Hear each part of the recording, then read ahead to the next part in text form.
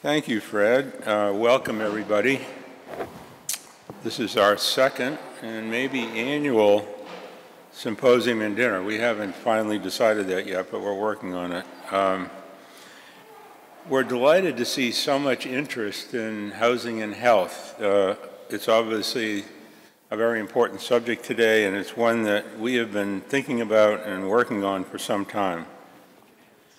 Um, we've been long aware that, our, that many Americans not only lack housing, but are also chronic users of our hospitals and, er, and emergency rooms. And we're gathered here today to tackle the issue of housing and health in a collaborative way because the affordable housing industry can't do it alone. So we're very pleased that many in healthcare and other sectors are joining us today to work on this dual goal, housing the neediest while improving their healthcare outcomes. What we're really calling for today, I think, is an affordable housing paradigm shift, one that examines the intersection of housing and health, exploring ways that housing and healthcare providers can improve outcomes by changing the current financial structure this could include a new funding model, privatized housing vouchers. Kick off today's program, we're honored to recognize a bipartisan group of lawmakers working to sustain and improve the preservation and creation of affordable housing. And I think one of the things that um, we and others in the affordable housing industry have been so pleased about is the way that support in Congress is coming from both sides of the aisle for affordable housing, particularly the LIHTC program. We'd like to begin um, by honoring our, our attendees with the National Housing Partnership Foundation Affordable Housing Trailblazer Award. First awarded last year to Senators Orrin Hatch and Maria Cantwell.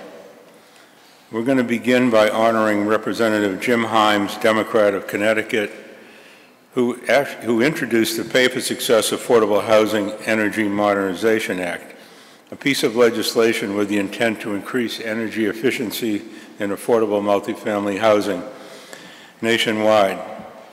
Um, many of you may remember that our symposium last year was on the subject of Pay for Success. So we're proud that Representative Himes' home state of Connecticut is the location of several of NHPF's properties. Please join me in welcoming our first 2018 Affordable Housing Trailblazer, Representative Jim Himes.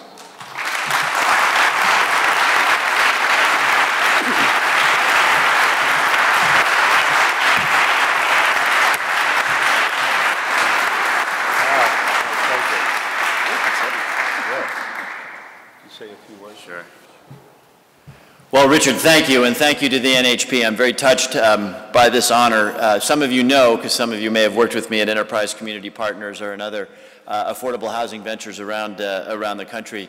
Uh, this is deeply personal.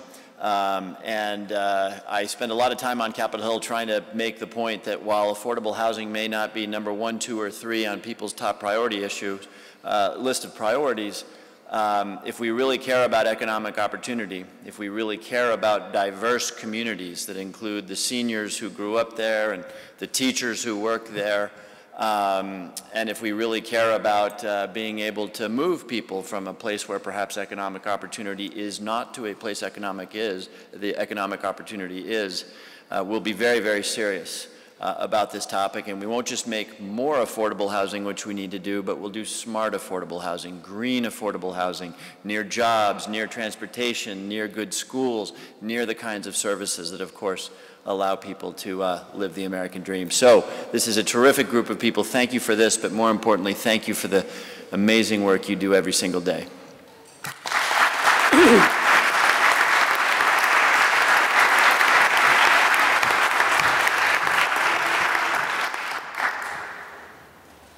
We also um, are pleased to be honoring Representative Carlos Curbelo, Republican of Florida, who is the lead Republican on the House version of the Affordable Housing Credit Improvement Act. Representative Curbelo couldn't be here today, but he has sent Ashley Rose on his behalf. Ashley? Is she here? No, no.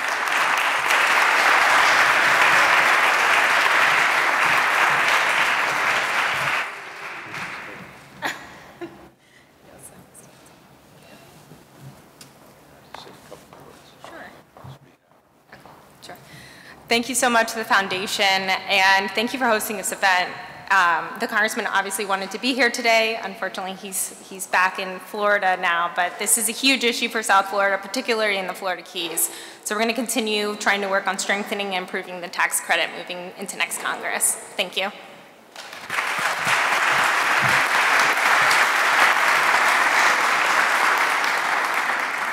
We also want to recognize Senator Susan Collins, Republican of Maine, who chairs the Senate Aging Committee and recently received the Brooke Award, which goes to an exemplary housing leader with a record of fighting for affordable housing at the national level.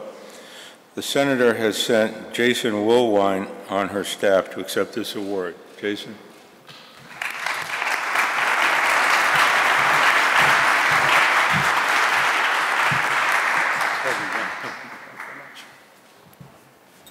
Uh, Senator Collins sends her regrets, of course, uh, and certainly appreciates NHPF elevating the conversation on affordable housing. It's something that she cares about deeply, both uh, on the role as aging as well as chairman of the Senate Appropriations on Transportation, Housing, and Urban Development. Thank you very much.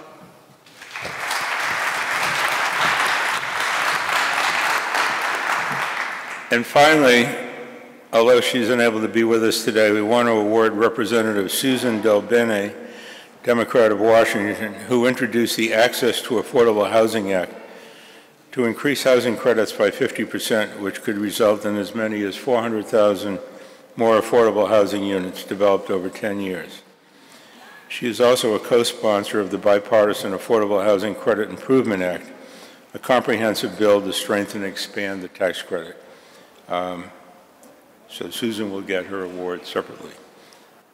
So thank you, and a, round of applause for all our recipients today.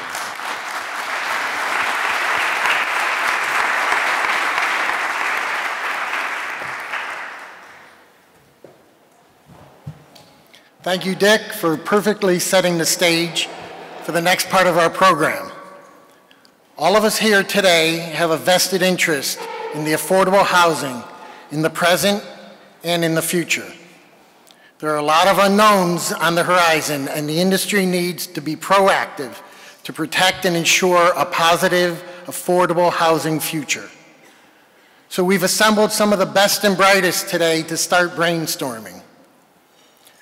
We are beginning with a presentation by Ryan Moser, Vice President, Strategy and Impact for the Corporation for Supportive Housing, or CSH, who will provide an overview of housing and healthcare today, and how housing and healthcare are becoming increasingly intertwined. Ryan will share examples of how supportive housing has developed cross-sector partnerships, which help people living in extreme poverty and engaged in crisis services find stability in the community and generate positive health and financial returns.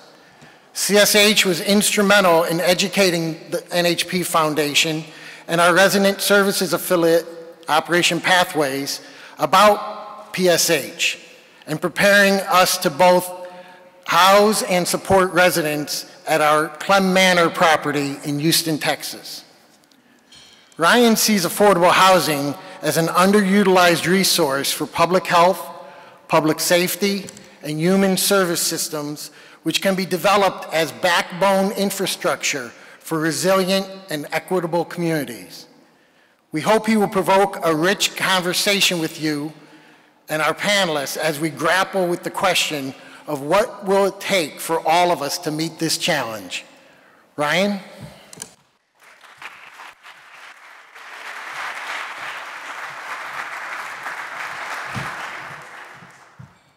Thank you, Fred. Um, can you still hear me? All right, great.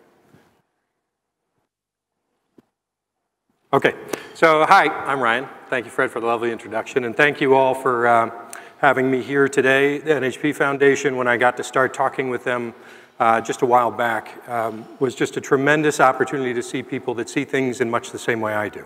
And to see that reflected in an affordable housing developer as they are moving into the services space further and more strongly is for me, from the supportive housing sector, uh, just something delightful to see. Um, I'm going to talk a little bit today about um, supportive housing, my experience therein, and what I think that it means for affordable housing. How I think the lessons that we've had to learn in supportive housing can be instructive for the work that you all are doing. All right, so CSH has been around for 27 years. We have been sort of in the throes of it, uh, looking at the intersection of health, uh, human services, housing, how that ties together for people that are extremely vulnerable with exceptional uh, poverty uh, status, uh, facing just a lot of barriers to stability, right? That's what we do, that's our DNA, that's how we've cut our teeth. Uh, but really, we work to improve the lives of vulnerable people, help maximize public dollars, and build safer, stronger, healthier communities. All right, so supportive housing, for those that are less familiar, is basically just affordable housing on steroids, right? There's a lot of ways that we can talk about it, try to uh, be sophisticated, but when I think about affordable housing, I think about affordable housing for people that are, you know, somewhere between 30 and maybe 120% of the area income, uh, with a variety of needs in place, right? When I think about supportive housing, supportive housing is titrated for people that are zero, usually to 15% income, and that's kind of where people kind of cap out at the entry point. Right? When we think about resident services, we think about something that's a little bit hard to define, but coordinated community services to help people connect. Supportive housing is more of an intensive case management model. It's flexible, it's voluntary, it can really go help people connect to their community in a different way than the resident services and affordable housing can do. Right? That's what supportive housing is.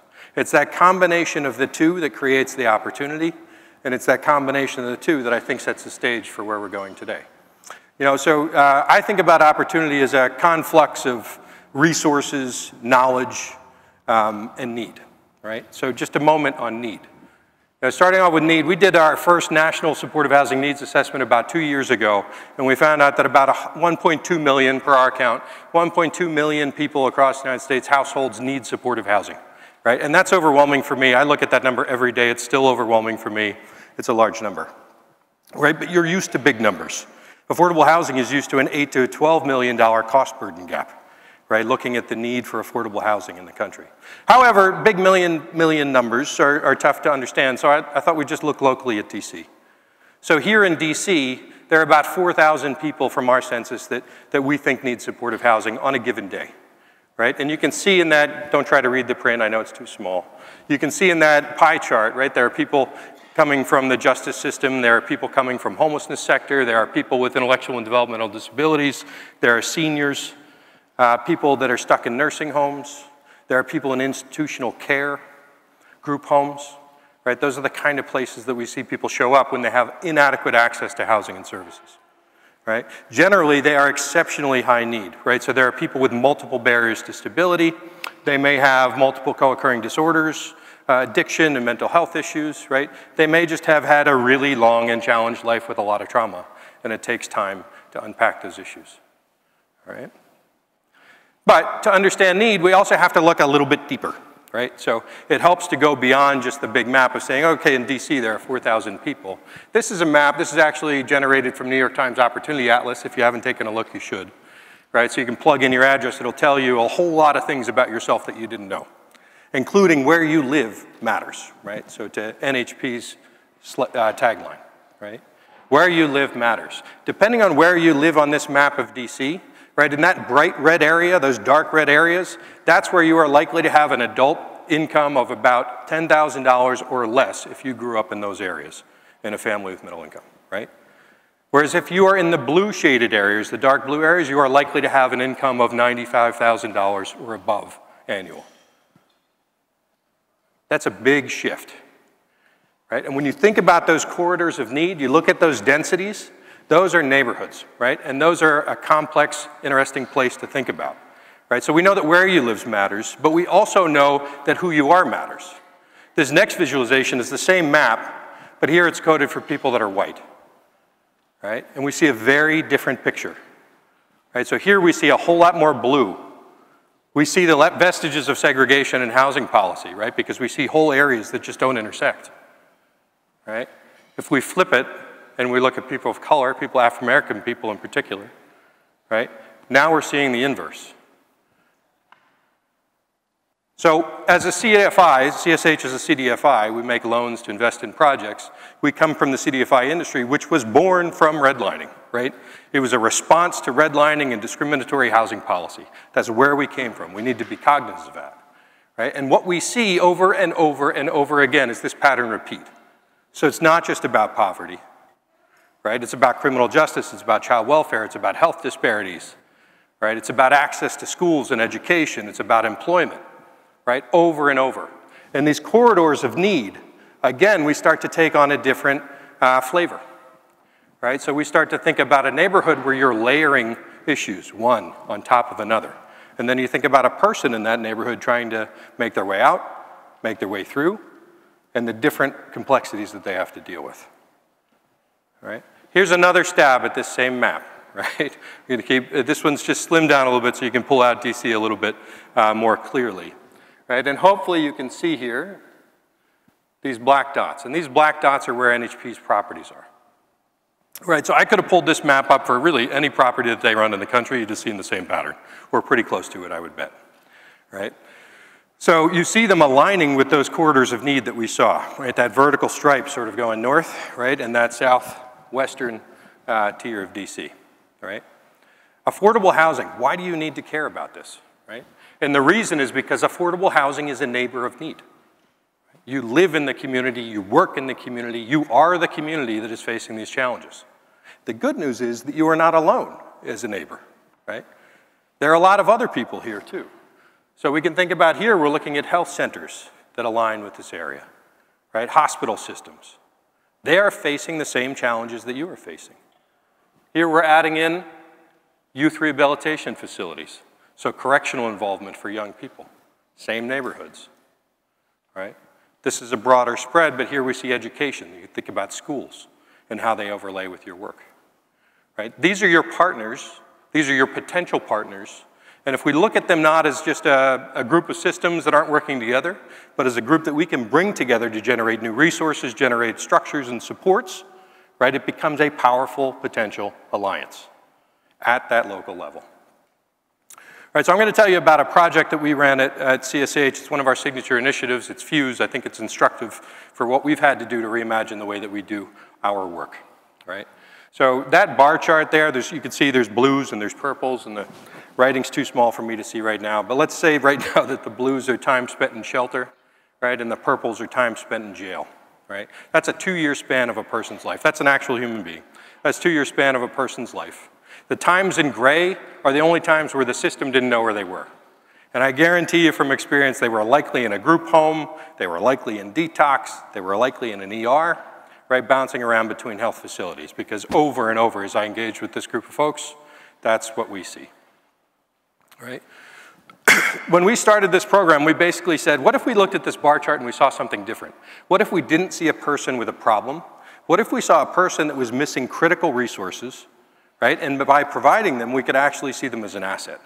How could we change their behavior? How could we help them access new resources to change their life and impact our system, right? And people thought we were nuts, right? This is 13 years ago. People were just uh, apoplectic about this, right? So a lot of our great allies said, this is insane, you're wasting public money, these folks are unhousable, you do not uh, know what you're doing, you should walk away, right? And those were the nice comments, right? But some people got it, and they moved forward, right? And it's easy to say no to a bar chart. So we put 100 people in housing, right? But the reality is that the 100 people were actual people. And this, the picture that's up there is a gentleman that I know named Barry. He was one of those first 100 people that was housed 13 years ago, right? And Barry was all the, all the things you would think. He had a rap sheet as long as his arm. He had been out of hospitals, uh, mental health institutions. He has traumatic uh, head injuries in his past, right? long histories of addiction. Uh, really, just you would walk by him on the street and just shudder. Just did not look like he was in a human state, right? A really sad position to be in, right? This is Barry 13 years later. Barry is still housed. Barry uh, makes art out of small, like classroom chalk. He carves it. He's been featured in a museum. Um, he volunteers at his local church. He occasionally has a relapse. And you know what? He has neighbors, he has a community, he has a service provider that help him reconnect right? And he stays in his housing, he keeps that stability, he stays out of those systems. And he does that work himself. Nobody does that for him, right? He also writes poetry, right? And for me, These numbers that are up here, which is what the program looks like later, are a kind of poetry. I'm a bit of a dork, you know, I'm kind of a nerd. So, so for me, I like, I like numbers, right? And these tell me a story, they sing to me, right? So we see reductions in recidivism, we see reductions in emergency utilization, we see reductions in shelter use, we see housing stability, we see employment increase, right? And these, resource, these uh, programs over and over have been replicated. We've done this initiative more than 30 times across the country, and they always point in this direction. You know, the, uh, the impossible dream can actually, is perfectly possible, right? The unhousable person doesn't exist. They can be housed, people can make their way through, right? We just have to find the right combination of resources. You know, the other reason that I like uh, thinking about Barry is that Barry, for me, uh, is an easy success story to miss, right? It's hard to see his potential because in order to see it in the state that he was in, you have to really be able to look up from below, right? You have to be able to see up and think about things in a different way. Right, so in order to do Fuse, we had to completely revamp the way that we did our housing uh, recruitment. We had to change from a passive model to an active outreach strategy. We had to go into jails, meet people repeatedly, engage them until they were in housing, right? We had to completely revamp the way we did our screening. We had to stop screening people out pretty consistently in every single bucket of resources that we tried to use. Right? And we had to flip that on its head and go and find those people and prioritize them actually for housing. Right? And we had to think about services in a different way because Barry, like a lot of people, had had so many contacts. There was this great built up um, sort of distrust of a system, and it took a long time for him to think that we were real. All right, but the, the other neat thing is that when you make this happen, right, it opens the door. So we see social determinants kind of in that same spot, right? And we're looking up and trying to figure out. The research on social determinants, until fairly recently, was mostly focused on lead, asbestos, uh, chipping paint, right? Mold issues. All very important and issues which by themselves make it worthwhile to rehabilitate affordable housing, right? Just, just by themselves, right? But beyond that, being able to see the lack of housing for a similar kind of a condition, being able to see that people that do not housing, have housing have disruption, they have trauma, they are bouncing between systems, and it creates damage, right? And that damage affects health. Well, that's a much harder research question, right? The good news is that, in fact, that research is being done in a lot of different places and it's starting to show resources. We have initiatives in CSH, uh, that CSH has been involved with around health, family well-being, child welfare, youth aging out of foster care, uh, seniors leaving nursing home care, uh, people exiting prison, people exiting uh, incarceration, active substance use, really all over the place, right? And all of them show these uh, patterns, right? Which is that you move from a system where, when you put those ingredients together, you move from a system where you have dysfunction, to a system where you start to see acute turn into prevention, where you see crisis turn into stability, right? And where you see damage turn into growth. And that's where we want to be headed. All right, so I think that pre presents a, just a tremendous opportunity. When you think about those neighborhoods, what we're looking at, that scale of need that we're talking about, um, it's, it's a huge opportunity for affordable housing. Because again, supportive housing is just affordable housing on steroids right? It's just amped up to be able to work with people with a deeper set of needs, right? And you can do that. But in order to get there, you're going to have to go through a reboot. We, in the affordable housing industry, will have to go through that same type of reboot to be able to think. I, my uh, partner pointed out to me, because she likes to point things out, that uh, reboot is now a, a regular term. So anybody under 25, I apologize, there is no more rebooting. We just turn it back on or something, I don't know. But I'm, I'm a little bit older, so I still see this. right? But there are a couple key things that we have to think about. And so I'm going to pose about five different issues for us to talk through. Uh, and for people to think about on the panel, I'm going to try to connect it on our panel. And just some ideas from supportive housing and affordable housing that might be leading the way. Right, so the first one is redefining who affordable housing is for. Sorry, I'm going to pull these out so I don't miss this one. So redefining who affordable housing is for. Right now, structurally, you are screening out in affordable housing all of the people that I care about right? Unless you are bending over backwards, and some of you are, bending over backwards to find out ways to do it, they are not getting into your housing, right? Because they have complex criminal justice histories, uh, rent arrears, utility arrears. They have had Uh, long experiences, but they, they're not at the top of your income stack, right? So if you're at that 0 to 50% AMI, who are you going to pick? The person that's at 0% AMI or the 12 people that are at 50% AMI right next to them in line, right? So they're getting screened out passively through your systems, right? In order to be able to approach this stuff, in order to be able to make the partnerships that we need, we have to create a new way of looking at that process, right? And that means creating alignment with partners, looking at referral systems, looking at data in different ways, thinking about how we can bring those systems into our playing, into our sandbox, right? And the good news is, again, if you do it, it will work. These are not people that are not houseable. These are people that can be just as well and stably involved in your communities and add just as much as anybody else. They're just not a fit right now, right? So we have today uh, uh, as the commissioner of HPD, Maria, a person who is deft at weaving together capital and operating streams, service streams, and different partners and alliances, right? You think of her like a conductor of the Philharmonic for housing resources, right? She can help you through this journey. Next piece is we have to think about data. Those data points I pulled up before, the types of outcomes that we're starting to see in, in supportive housing, are hard fought. That's 10 years of working on research over and over and over again. Sometimes running into brick walls, sometimes not, right? And it is a, a, constant focus on data and figuring out what you know about yourselves, what you have to offer, and how to bring it to bear, right? What the impacts are on people and communities. Affordable housing needs to run full bore at data and figure out how to enter partnerships, look at data sharing agreements, uh, look at your data with fresh eyes, look at consistent outcomes across different providers, right? So looking at this space is something that you can and should do. Uh, Josh is here. Uh, Josh was involved in a five-city uh, initiative, a four-city initiative that we did looking at high utilizers of health across the country. He was involved in a randomized control study, uh, and it showed that in their local site, they were able to generate health study, health outcomes uh, in their program by creating this stuff, right? By moving through, by understanding data, by looking at who they were using their housing to target, right? Next step on that stuff is thinking about data without context just makes no sense, right? Data without context is just noise, right? So we have Stephen here who's thinking about how do you pull together housing, right, with health services.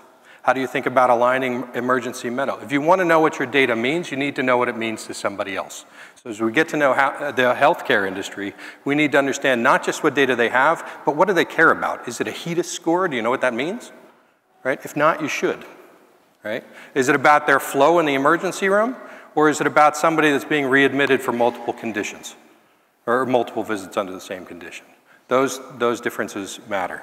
So Josh and Stephen can be our Rosetta Stone for the conversation. All right, so thinking about investing in services and partnerships uh, for delivery.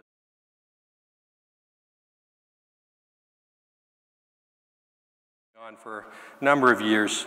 Uh, it's a 10-year program, was funded by health philanthropy largely, it was basically set up to work with affordable housing developers uh, to create a stronger resident services model that was very data-driven and with clear outcomes and thinking about what is it that we would term success? How do we know if the program worked? Because resident services are one of those things like supportive housing, it's just very hard to grasp. You don't quite know what they mean. It's just like, well, you know, we do services, and it's in partnership with the community, we bring people in, we have referrals, it can be very hard to grasp right? So who did we go to? We went to SAHF, right? And SAHF, uh, stewards of affordable housing, knew how to put those resources together to think about what is it that we need to measure from a resident services coordination so that we could tie payments to the effective performance of those services. It's one of the first pay for success models or impact investment models from philanthropy around housing in the country, right? CORS has since moved on. All right, and we have a tremendous, Camilla is here today, to, and will, I'm sure, talk to us about core certification and how, how that can help you in your, in your uh, offerings, right? So you can think of some, or I can think of Camilla anyway, as your personal trainer for the day, as you work to messel up on services delivery and think about what does that look like, she can coach you through that process. All right, community infrastructure. We talked about this, right? And affordable housing has a long history of, of jumping in on workforce development, increasingly on sustainability initiatives, thinking about transit-oriented develop, how to, how to work with communities to think about building critical physical infrastructure.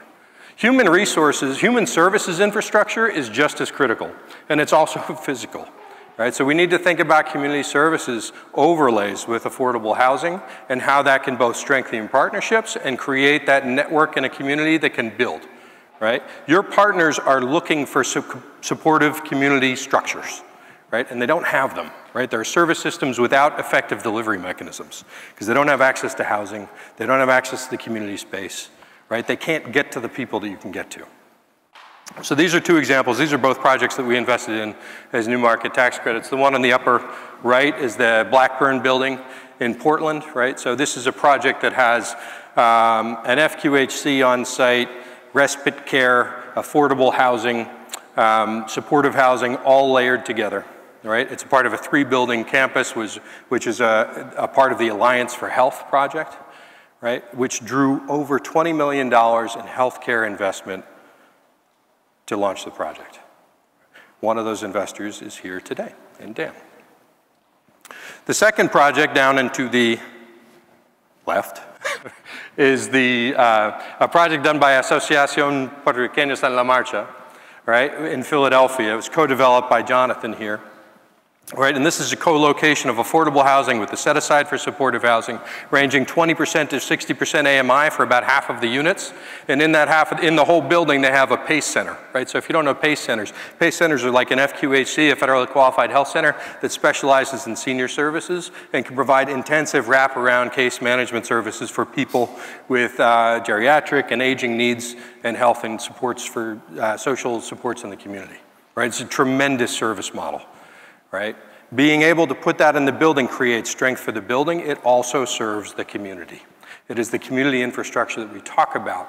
When you look at those maps, you think about those corridors of need, this is the type of project that they need, right? So uh, we have Dan and we have John and they, Jonathan, and they can be here today to be your engineers as you think about how to build the infrastructure of tomorrow. The last piece that I have is uh, reimagining housing finance right? So really, affordable housing finance has been fairly staid. And there's a lot of creative people in the room that do really creative layering and nice things, right? But mostly, when you think about it from a national level, affordable housing finance hasn't changed too much since 1986, right? That's when we did the big tax credit overhauls, or you all. I wasn't doing that work then, right? Um, but there are a lot of shifts happening in payment and finance, finance mechanisms, right? So the first one I think of is value-based payment.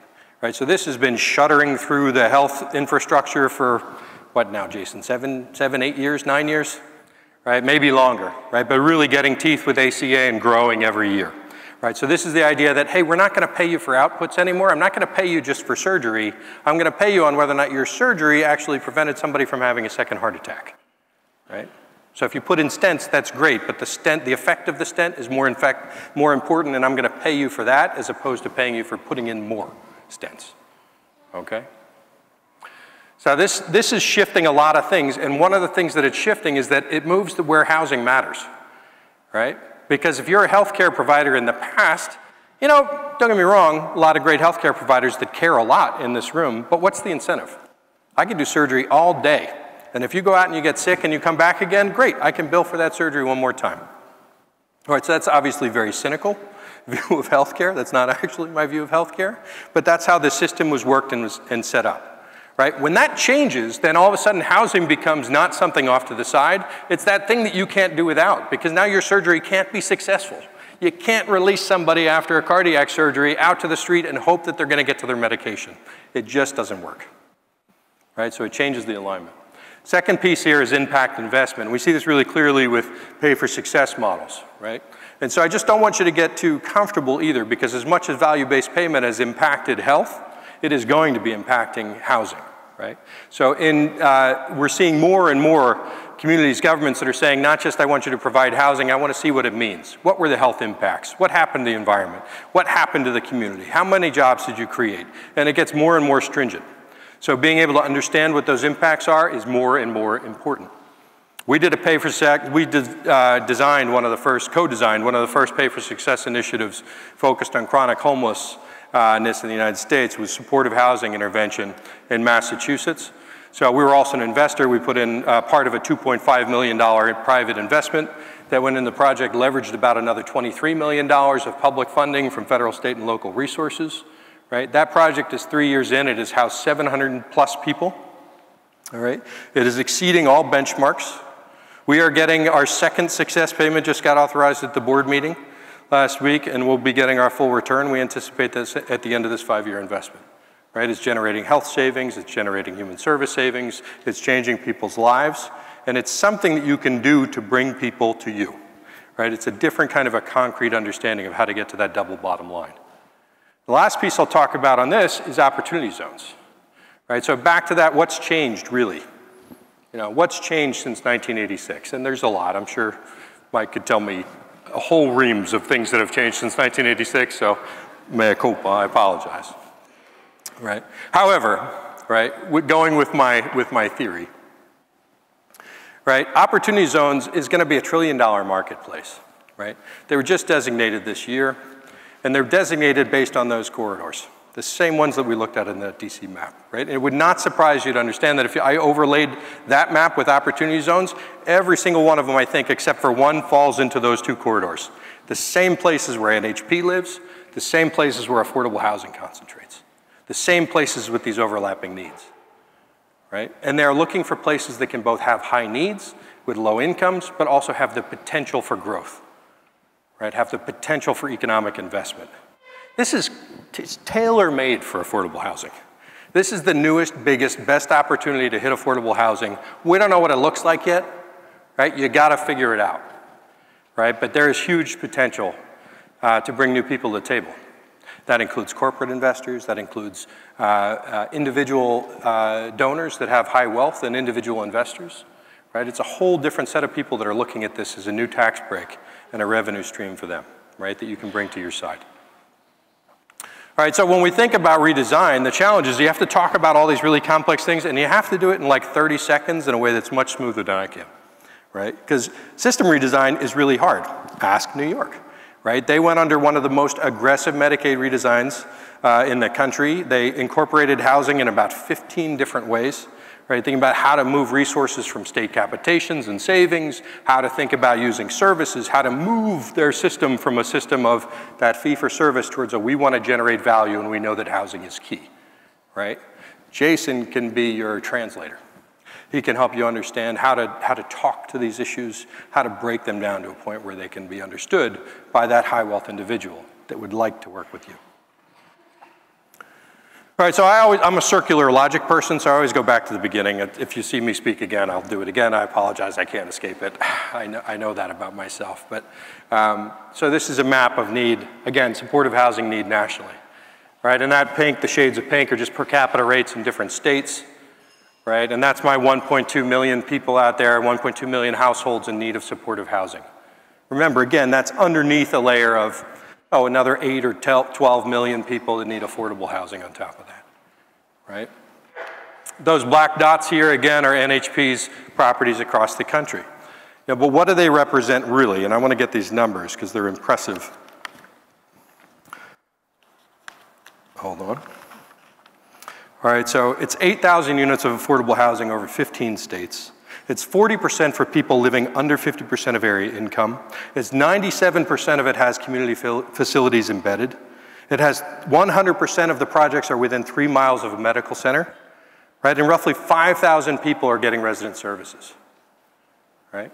That's a huge impact, even at a national scale.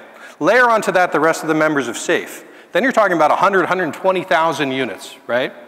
And a disproportionate growth then of what you're gonna be able to impact right? And now I'm gonna just pull up and those yellow sparse lights, right? Those are the LIHTC, low income housing tax credit investments that have been made, I think just since 1997 to 2016, right? So then we're talking about two and a half million units of housing in play. This doesn't feel like a mom and pop shop anymore. Right? For me, that feels like a stakeholder that has a tremendous amount of assets to bring to bear that are being underutilized and can be the backbone for public health, public safety, uh, results related to child welfare, positive youth development across the board. Right? But it needs to organize, it needs to figure out how to partner in a different way, it needs to talk about, Richard used the term paradigm shift, which is just much more elegant than reboot right? The paradigm shift to think about how to move from a system of passive referral, I will build it, they will come, to a system that is fully empowered to be able to do this. Now, we have a long history in the United States of just waiting until things get really bad before we fix them. You know, we've, we've done it for two or 400 years, depending on how you want to look at our timeline. Right? And so I think we're getting there. Right? The, the housing opportunity, uh, the representative said earlier that it's not the one, two, and three top issues that you see in local political or in state political issues. Right? I'm here to tell you that's changing. I can't tell you the amount of elected officials I've talked to that said affordable housing is my number one issue. It is moving. It is my number one, it is my number two, it is my number three issue because it is unsustainable. And when we get to that unsustainable, the United States always has, also has a tremendous history of entrepreneurial people that come out and try new approaches and do different things. And I think we're just, we're right there on the edge, right? And it could be you that figures out those solutions, right? But I also mocked up this image, right? Because it could not be you. And don't get comfortable, right? Why not Amazon? They are spending their whole time right now trying to figure out how to develop lifelong customers, right? I had a baby about two years ago. I joined their little service. I got things I didn't even know I needed exactly when I needed them every time I needed a new set. Like they just knew me better than I knew me. And I'm a first time parent, so I don't know myself that well, but, uh, but roll with me here. Right? They, Walgreens, Best Buy, they're all trying to figure out how to get to seniors and people with seniors in their families to figure out how to help ease those transitions, provide those supports over time. Right? They are looking for your people, they are looking for your issues, and they've got the capital to do it. So why not jump in? But hey, I'm a fanciful person, I'm sure they won't. Of course, they did just donate, the Bezos folks, a couple hundred million dollars with a tag for homelessness, right? But hey, it was probably a press issue. right? And they did, by the way, just in September, make their first stake investment in a housing builder where they bought half of an A series offering for somebody who's doing prefabricated houses, right? They got a lot of employees. Maybe they'll start with workforce housing. So, I'm going to leave it there, and I'm going to say that uh, despite that dire prediction, that is somewhat ridiculous uh, to be sure, right? I think this room has the power to figure it out. I believe that you all are the brains that can, that can put this stuff together. And if I were spending pound for pound, I also remember that they just sent me $150 of hair conditioner that I don't use, right? And I would much rather have somebody that spent their career, dedicated their mission to figuring out these issues, be the people that figure out how to do it at scale. So I'm gonna say thank you there, and I'm gonna turn it back to our folks. Wow. Thanks, Ryan, for giving us plenty of things to think about and for providing a perfect segue to the panel discussion portion of our meeting. I'd like to start by introducing our esteemed moderator, Dr. Tiffany Manuel. Dr. Manuel is Vice President of Knowledge, Impact, and Strategy for Enterprise Community Partners. Dr. Manuel is an experienced social scientist, strategist, and cross-sector leader committed to social impact. Tiffany?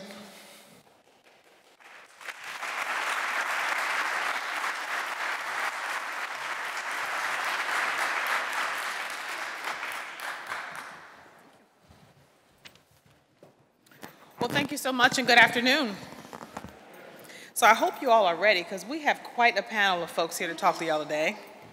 Thank you also to Ryan um, for setting the stage for this conversation.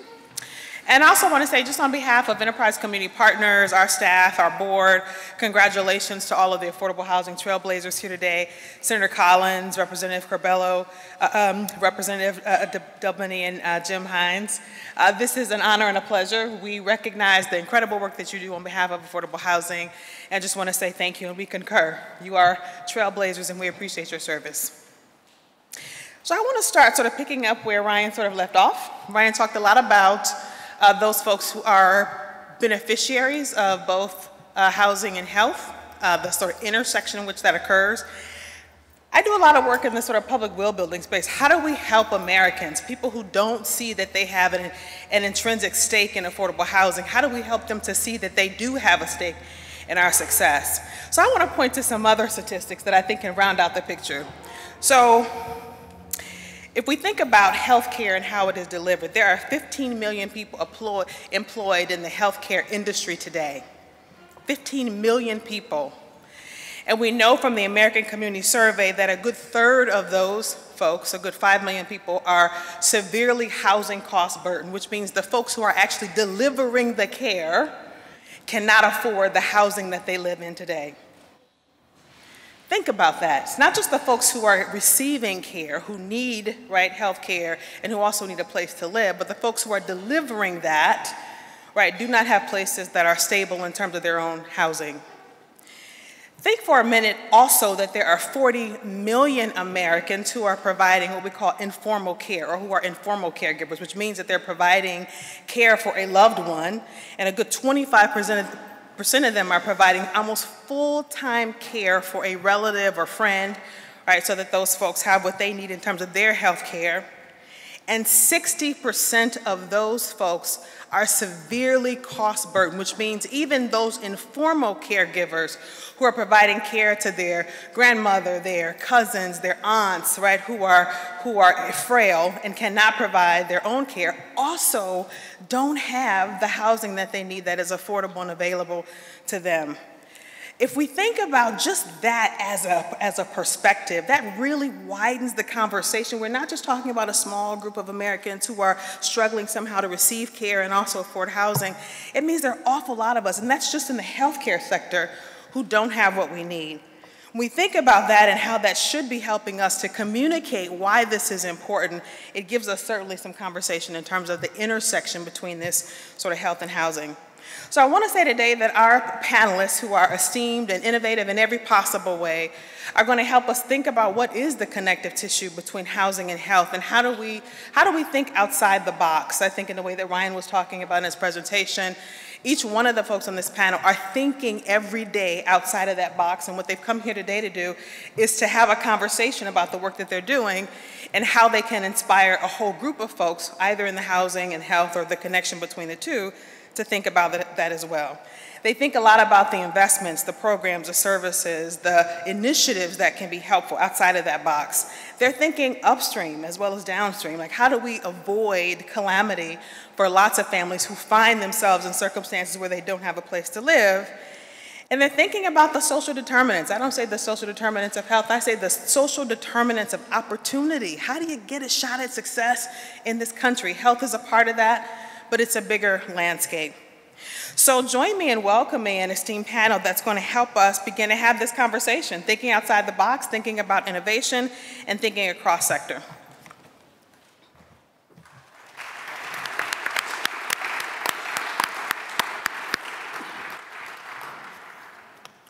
So, are you all up for this? All right the Avengers? So, um, so we have several folks. I'm going to take the, the time to just start by introducing our first panelist.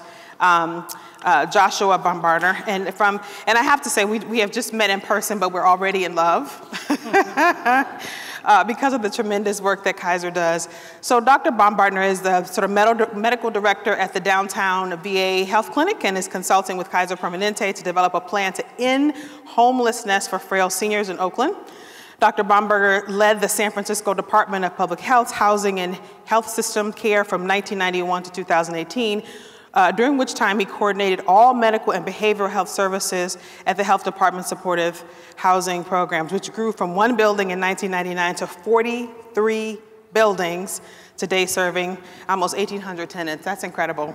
So I'd like to just start with an introductory question that allows him to start talking about some of the work that he does and why it's important for this broader conversation. Is that all right? So, what is the responsibility of the healthcare system to provide housing for people whose health is worsened by lack of housing or due to inadequate housing? Great, thanks. Um, it's wonderful to be here in Washington. Um, I feel like we're the Avengers, you know? I, Spider Man, I think. You guys can choose. That's where I go. so I'm a family doctor. I've been taking care of homeless people in San Francisco since 1989. Um, and when I arrived at San Francisco General then uh, as an intern, it was in the midst of the AIDS crisis. And many of the people who I served during those years died in my hands. It was a terrible time. And we had no treatment for people with HIV in those days. There was no medications. And it was very, you know, for people who've been through trauma, many of you who've been in the military or other traumatic events, it sort of, it concretizes your worldview when you're in the midst of that. And that set me up in a time feeling that it's just not right that people should be dying at such a young age. And that physicians would only be sort of caretakers to watch people get sick and die. As the years progressed, I shifted from taking care of people with HIV to taking care of people who are homeless. And the population of people who are both HIV infected and homeless were dying at a rate that was the same as it was in the early days of the AIDS epidemic when there wasn't, we eventually got HIV medications, but people who are homeless didn't benefit from them. And then in San Francisco, we developed all the supportive housing, as you mentioned, and the death rate among people who were HIV infected and homeless became the same rate as people who were housed because we were able to get enough housing out there so that people who were living with homelessness and HIV could benefit from antiretroviral medications. So that time period really concretized my view that as a physician, my job is to take care of the person sitting across from me. And as a healthcare system, that's our role. It's not to save money. Mm-hmm. It's to take care of sick people. And the thing I don't have for my patients right now is the treatment that my patients need, which is housing. And I see it every single day. I can get someone's hemoglobin A1C down to 6.2. I can make sure they get their colonoscopy. I can get their flu shot. But then many of my patients, I roll out to the sidewalk in the rain, and I go home and know they're not going to be healthy in that setting. So, what's our job as a healthcare system? Our job is to find the treatment that my patients need. And there are such great opportunities to do that today. Philanthropy can be a catalyst for getting the healthcare industry to overcome those humps that we need to make more housing.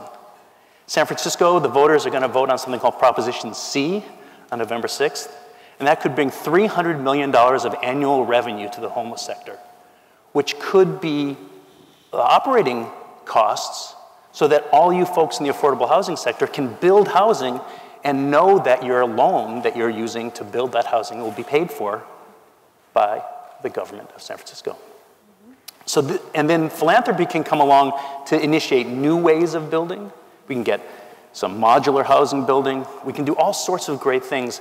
Kaiser has led the way in Portland, and Dan can speak about that much more intimately than I can to create an opportunity to be the catalyst for more supportive housing so that my patients don't have to suffer and die in a way that we really haven't seen except in these horrible scourges of our lives like, like HIV. Mm-hmm. So I think it is the responsibility of the healthcare system to do the right thing, and that right thing is make more housing. Dr. Uh, Bamberger, thank you so much for that. Um, so I'm going to turn my attention a little bit to Maria Torres Springer. Thank you for joining us. Welcome.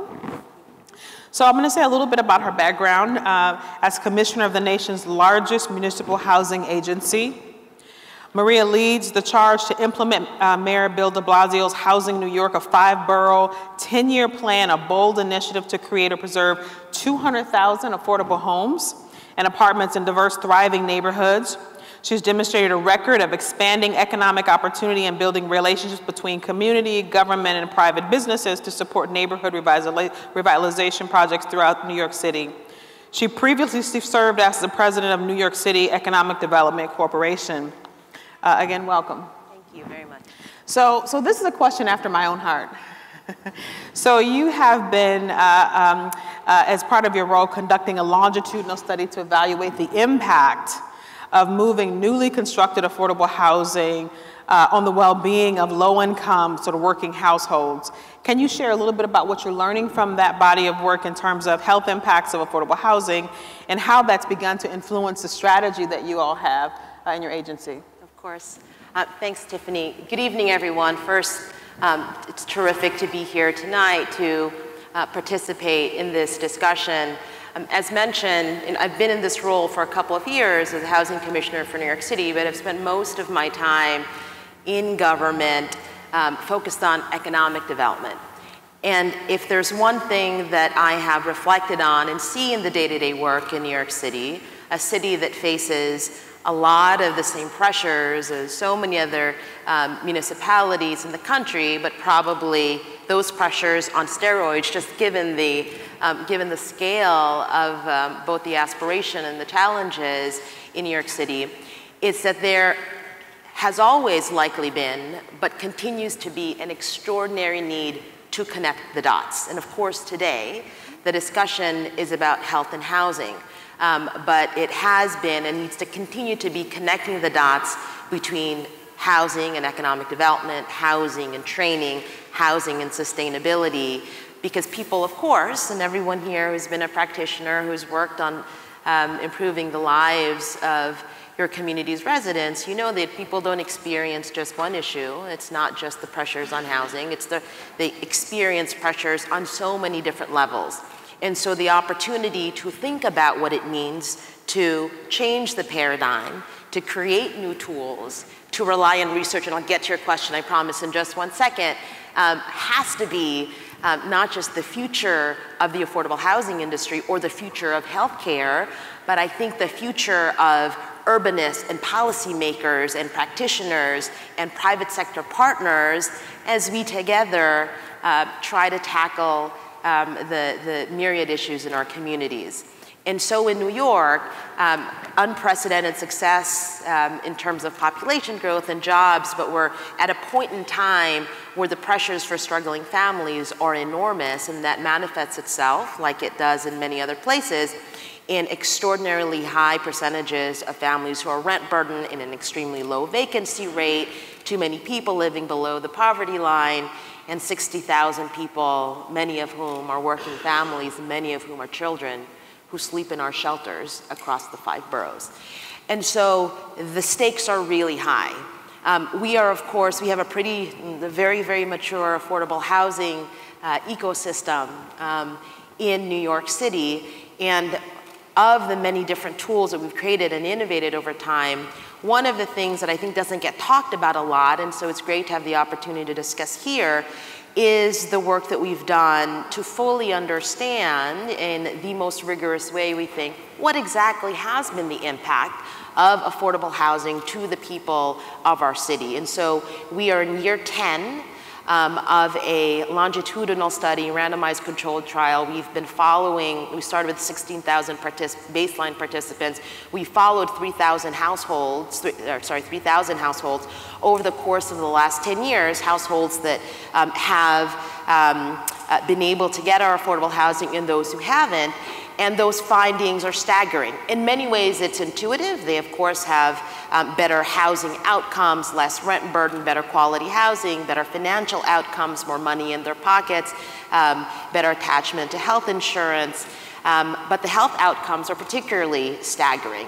Um, much lower um, instances of diabetes, of asthma, um, uh, less um, incidence of, of, having a secondhand smoker in the household, less um, incidences of depression. And while intuitive, it's really the type of data that allowed, has allowed us to say we have to double down on what we know works. And so the 10 year, 200,000 um, housing plan that we have, we actually just expanded last fall. So it's now a 300,000 um, unit plan by 2026. A lot of that is in supportive housing, and so I'm glad there was such a terrific um, discussion earlier about the power and the potential of supportive housing a very a, a proven model that has us on the government side um, really working with so many different partners to braid all of the different funding sources, whether it's capital for the project, of course, tax credits, the service dollars, that rental assistance that is needed that today in New York City um, is city funded. And we've built thousands of those over the course of the last few years and will continue.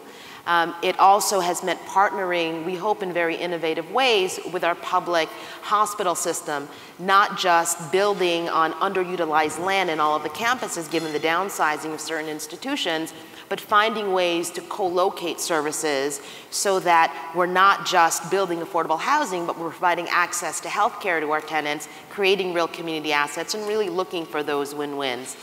So I say all of that because um, the, the work that we were doing in New York City, we're, we're quite proud of, but given the very staggering statistics that I mentioned earlier, it's not enough.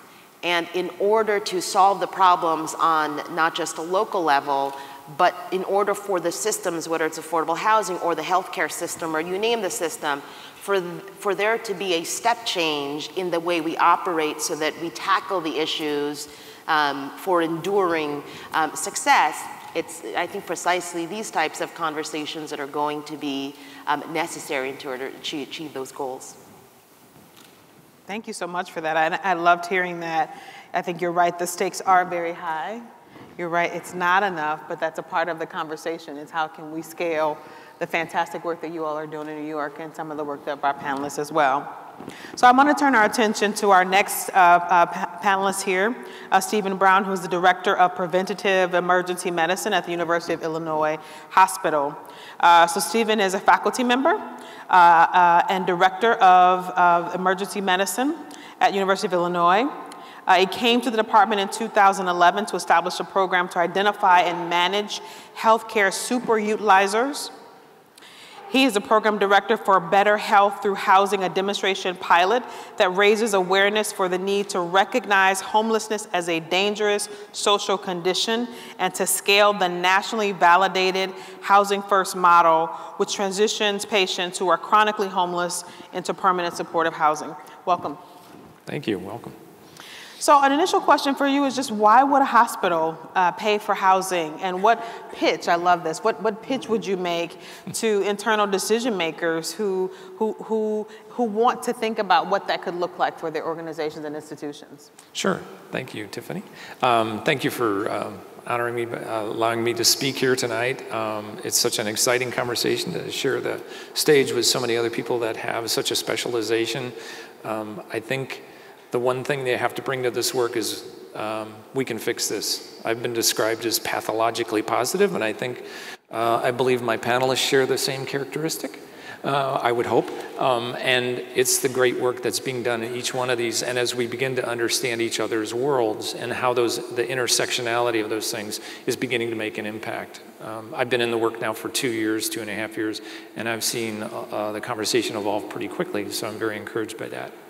So I run a program called Better Health Through Housing, and we uh, house the chronically homeless that we identify in our emergency department. We're located about a mile and a half west of our downtown, or the Loop we call it in Chicago, um, in the Illinois Medical District, so it's very high concentration of beds. Um, and uh, through that program, we've now housed over 42 chronically homeless individuals out of our emergency department. And part of why we decided to frame this as a demonstration pilot and not a randomized control trial is we didn't really know what we were doing. Um, and, you know, and I can't say we really had some great ideas about why we were going to do it in the first place. We, we kind of backed our way into it. We're a public institution with a health equity mission. Um, everyone in, uh, there were some stipulations in the Affordable Care Act that said that we needed to uh, think about population health, so managing the health of a community, not the individuals that come through our doors. Um, and um, that we're a state institution that we felt that we could be more proactive in guiding a lot of the policy issues around healthcare delivery to the Medicaid patients in the state of Illinois. And so those very kind of nebulous things that we uh, described, we decided to invest. Um, the program has been running since 2015. We've housed about 27, uh, I'm sorry, uh, 42 as I mentioned. Um, and the thing we get all the time is why would a hospital pay for housing? Um, and the answer is we're learning that it's a very important thing that we need to do. Um, it gave us the opportunity through this demonstration pilot to now understand homelessness is a dangerous health condition. So why is it dangerous? Well, the average life expectancy for a chronically homeless individual. And a chronically homeless individual is somebody who's been continually homeless for over a year, has had four episodes in the last three years. Um, is that life expectancy is 27 years less than the average American. Um, we've also described, uh, we've been able to describe incredible disease burden. So um, we, we had a 35% mortality rate in the first 26 that we housed. So almost every one out of three passed. And uh, also 66% uh, of the uh, six females, or two thirds of the females we housed and passed away too. But we also saw these incredible rates of chronic disease and often, often multiple chronic disease. Um, we saw 38% of um, mental illness, just general mental illness. 38% of that was serious mental illness. 50% um, had asthma. Um, I think it was like 60% had um, some form of uh, cardiovascular disease. Uh, we also discovered that 42% had a form of cancer, and a fifth of the cohort had metastatic cancer, which was one of the uh, most was the, we had I think three of the individuals that passed were had some form of metastatic cancer. So we're now describing this as a dangerous health condition. Um, we also found that we weren't doing a very job of finding these individuals. Um, we've now found that about 4,500 individuals have passed through our doors since 2010. That's kind of astounding to us because we thought we had 48 or 50 individuals. Um, and then we also found that the cost and utilization to these individuals was extraordinary. Um, I just completed a data run of uh, that. I used to have a, I used to be a systems engineer prior to being a social worker in the ER, so have some access to data. And I looked at it, and we had. Um, I looked at 1,200 individuals in our healthcare system. About a third of them were in the, the fourth quartile, so the most expensive patients in our system. And these are only patients within my system. So um, they had healthcare costs that ran anywhere from two and a half times to 160 times the average patient cost in our system. And this is, again, just within our systems. I don't have claims data in the state of Illinois, so extraordinarily expensive. And then the other thing we've learned is that our retention rate wasn't as good as other housing first programs. You, you expect 80 to 90% retention after two years. Ours was 54%. And we believe that's because we're ED based and so many of the individuals were unsheltered individuals that were coming through our doors. Um, and because of that, uh, just a higher level of acuity, people that have really taken the, the years on the street have taken a severe toll on their lives. Um, but the other thing we found was that there's a mismatch between the type of housing and supports that we need for these individuals and the characteristics of these individuals. So somebody with severe mental illness substance abuse issue and a couple of chronic diseases probably needs to be in a project-based, cluster-based housing with assertive community treatment embedded in it, very high level of support. Um, and now, because of that, we're having conversations in the city of uh, Chicago with the Corporation of Supportive Housing at the table is how do we align these things? So, um, you know, uh, the question is, we, we do this to answer questions directly is because it's part of our health equity mission, but we think we're driving a lot of policy discussions in this. And our hospital continues to fund this because we're learning so much out of this too. We're about to start publishing real data, real research on this too. We're starting with a methods paper. We'll probably uh, do a randomized control trial next year. Um, but um, that's a long way to answer your very brief question. So. No, that was fantastic.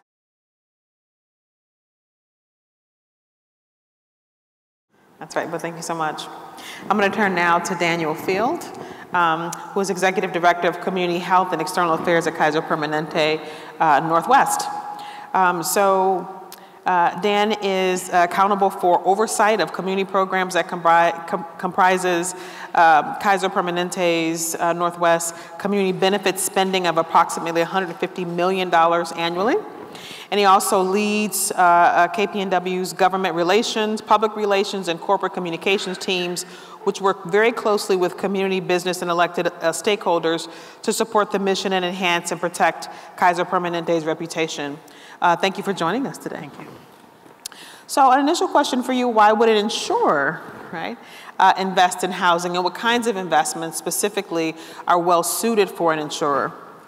Yeah, thank you for that question. And uh, one of the things about Kaiser Permanente, some of you know we're the largest fully integrated nonprofit health system in the country.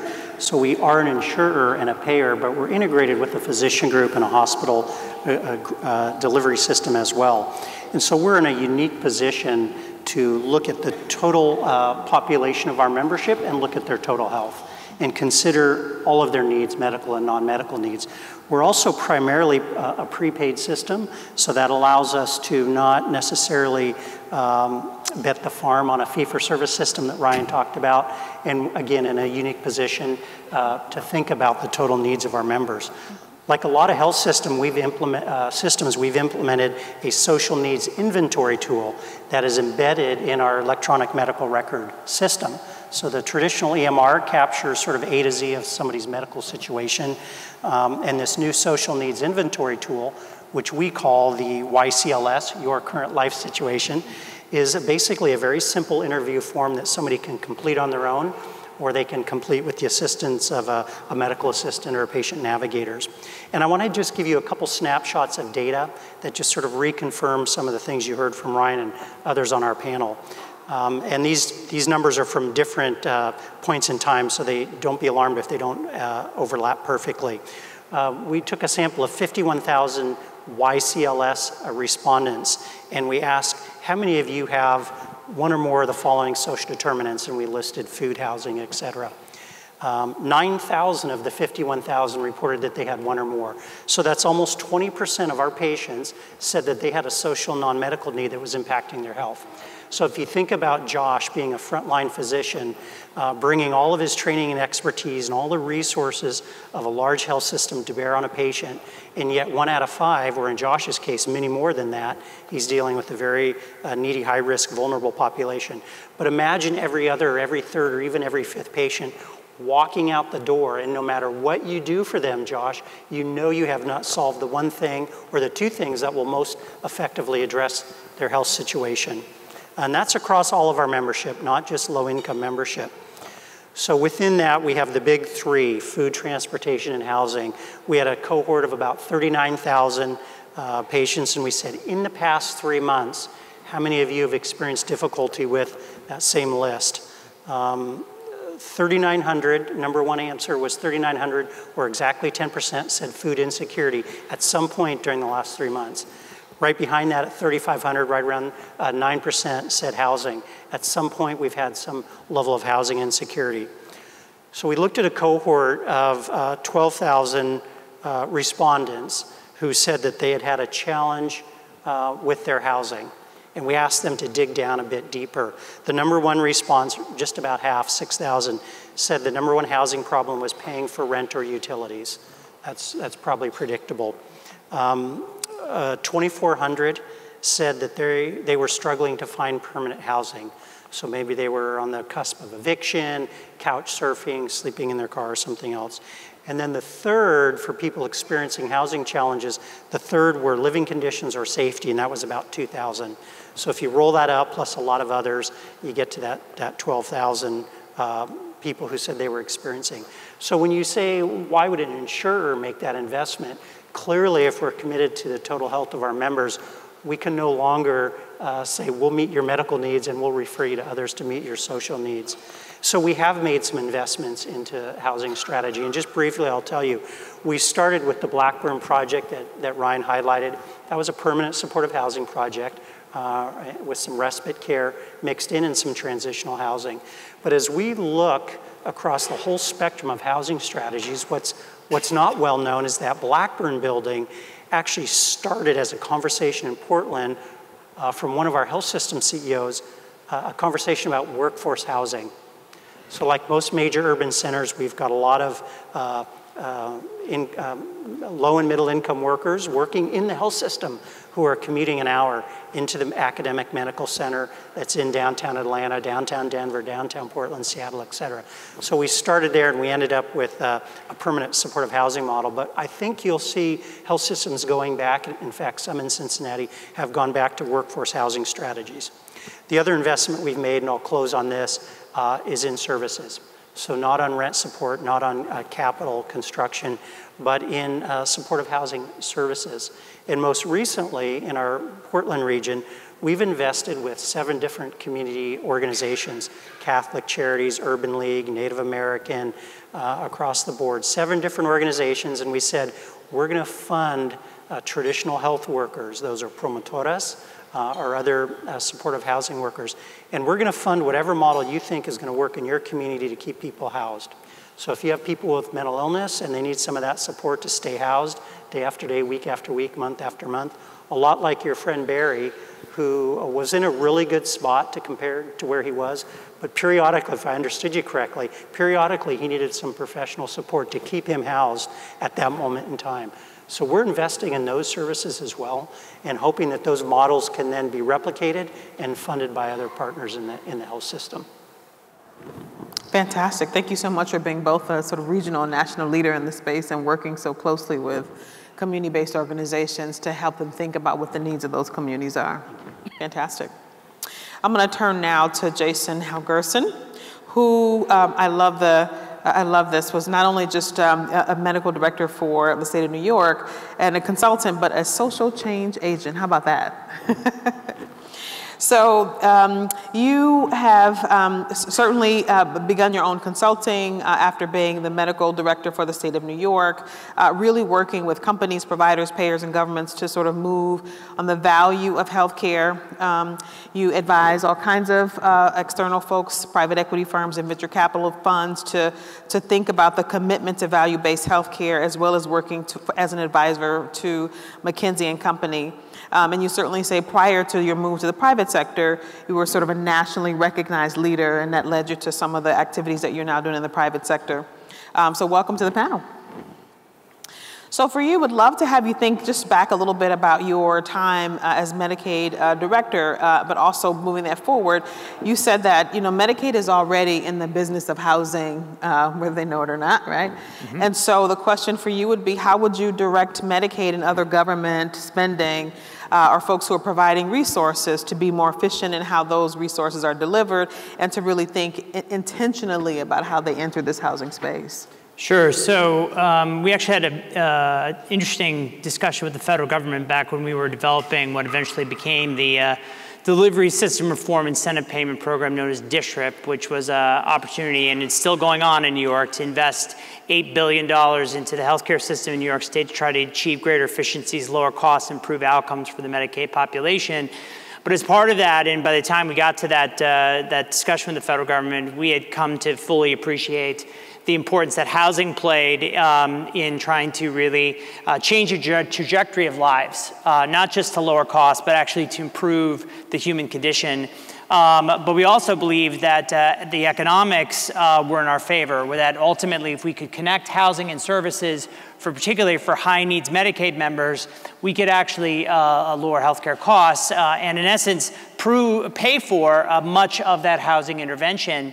And so we were trying to convince the federal government. I remember a federal official saying, uh, but Jason, Medicaid isn't in the housing business. And, uh, and my response was, yes, we are. And we have been since the, or, since the program began in 1965 because a mandatory benefit in the Medicaid package is a nursing home. And there's nothing, I mean, if, if a nursing home is a 24 hour facility and people live there, um, and, and for a long, long time, uh, people lived there for many, many years. Um, and, uh, and, it's always been, and a lot of the services, those housing services that we pay for in long-term care are a major cost category in the program. Uh, but we also pay in, in indirectly for housing mm-hmm. um, uh, in the healthcare system uh, and Medicaid in particular. We pay for individuals who can't be safely discharged uh, because they have nowhere to go. Uh, and states have policies, localities have policies that you can't discharge someone to a shelter. Uh, so what happens is those individuals stay in the hospital for extended periods of time, uh, which is one of the most expensive forms of housing one could ever imagine.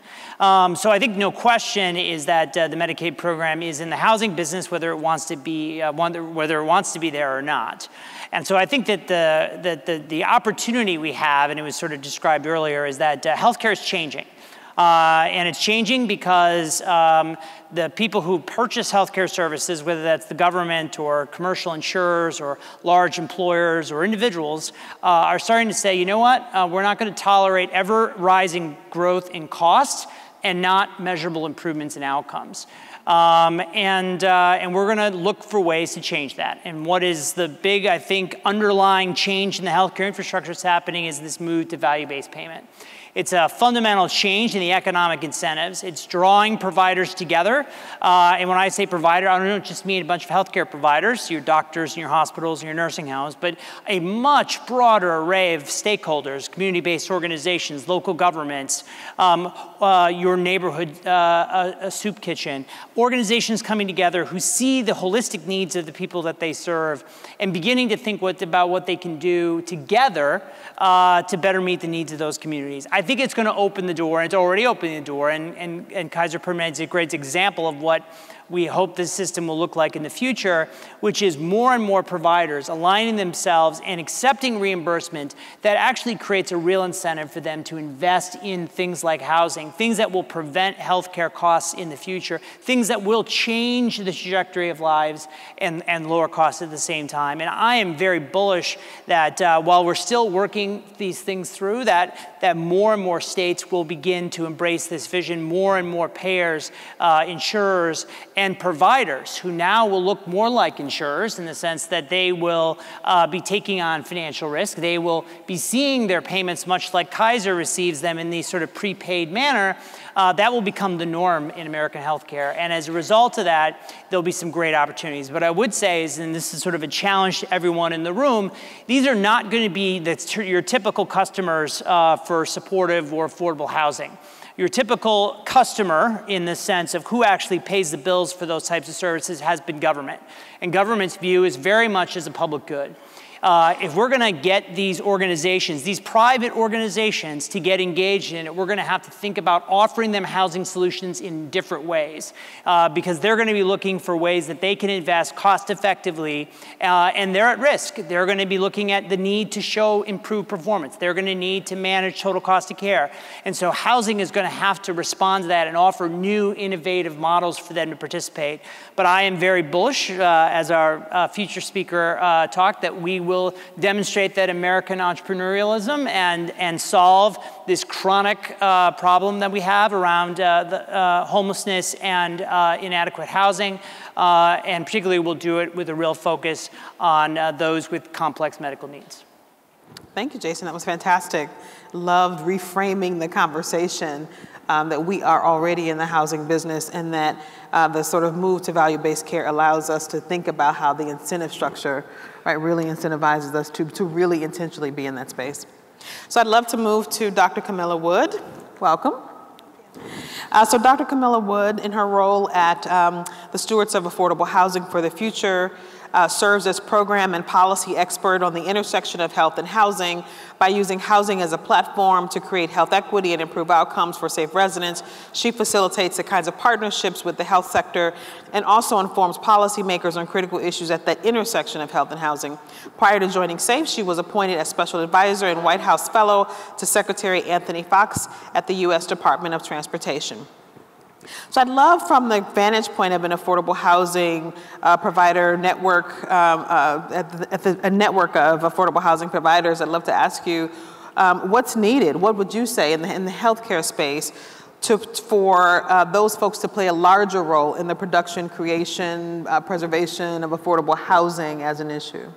Absolutely, and it's such an honor and privilege to be here. I think it's so fun to be on a panel where there's two other physicians. Um, it's always great to kind of bring that voice to the table. Um, when we're all different specialties and so carry very different lenses in how we look at this work, I'm really excited to kind of bring that lens through the work that I'm doing at SAHF and then how we're thinking holistically about all of this. I also really appreciated Ryan's presentation because housing is by far the most critical social determinant of health. And SAHF really harnesses that and understands understands that in the work that we're doing. So we are a national collaborative of 13 nonprofit affordable housing developers. NHP Foundation is one of our many fantastic members. And through our work, we really try to think about housing in a way that can really improve the lives of the residents that we're serving. And we do that through a variety of initiatives, specifically around resident services, thinking about innovative collaborations that we can do to really foster improved outcomes. I say all that knowing, though, that our number one problem is we don't have enough affordable housing in general. So as a pediatrician, you know, I heard Josh, we talk about, you know, hospital and healthcare's ability to take care of sick people, and it's also to prevent illness and sickness. And as a pediatrician, my role is to really prevent that three-month-old infant that I see for a well child visit from becoming the 65-year-old veteran who's disabled with bipolar and schizophrenia that has no coordination of care.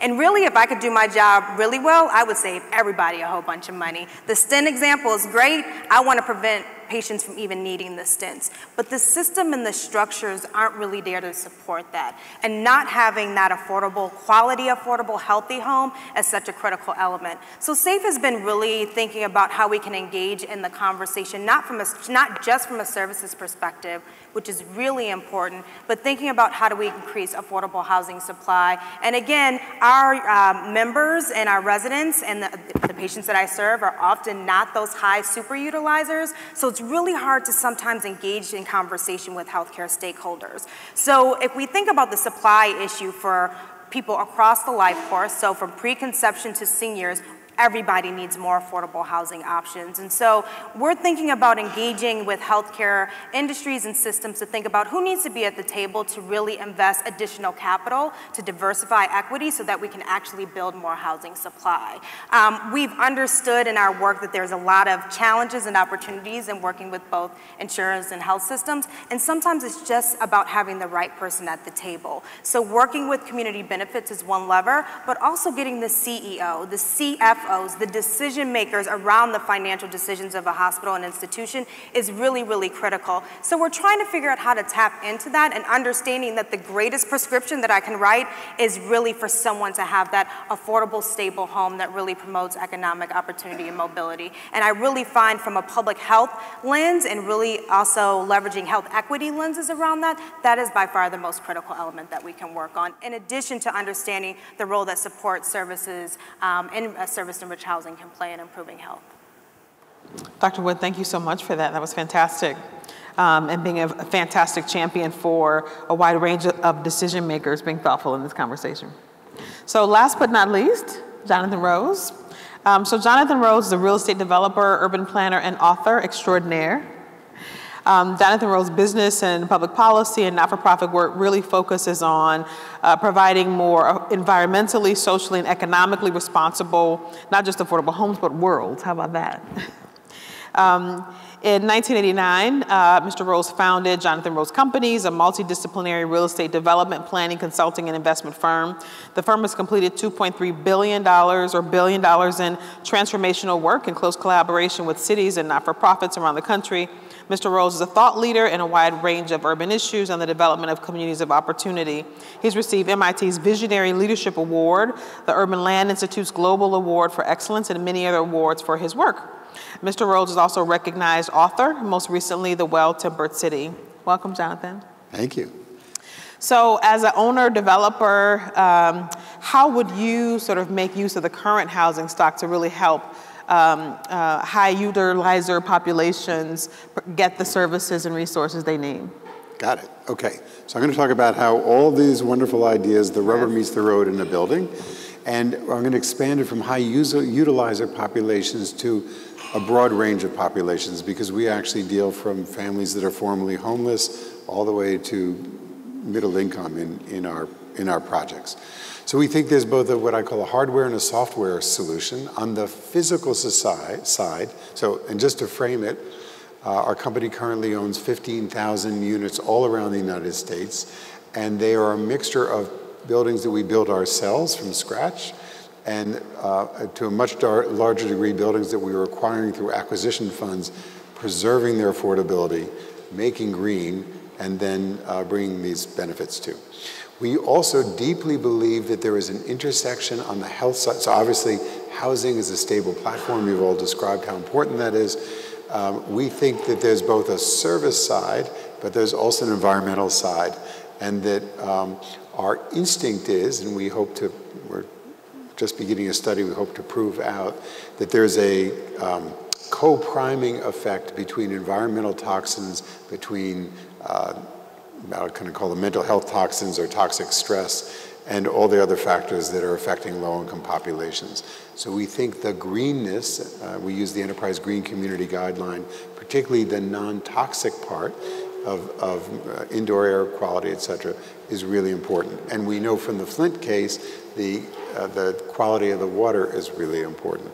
And we know from other studies that on the affordable side, on the green side, that reducing energy costs for our residents, if we can save them 30, 50, 80 dollars a month in utility bills for a family that's earning 15,000, 18, 28,000 dollars a year, 32,000 dollars a year, that's a huge benefit in adding economic resilience.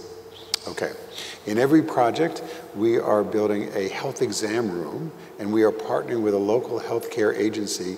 And as you've all described it, not only is housing cheaper for you, a, a part of your prescription, but actually, if you can see residents on our site versus in your hospital emergency rooms, that's a lot less expensive for you. So we can actually deliver populations at volumes that make it worth coming to on site.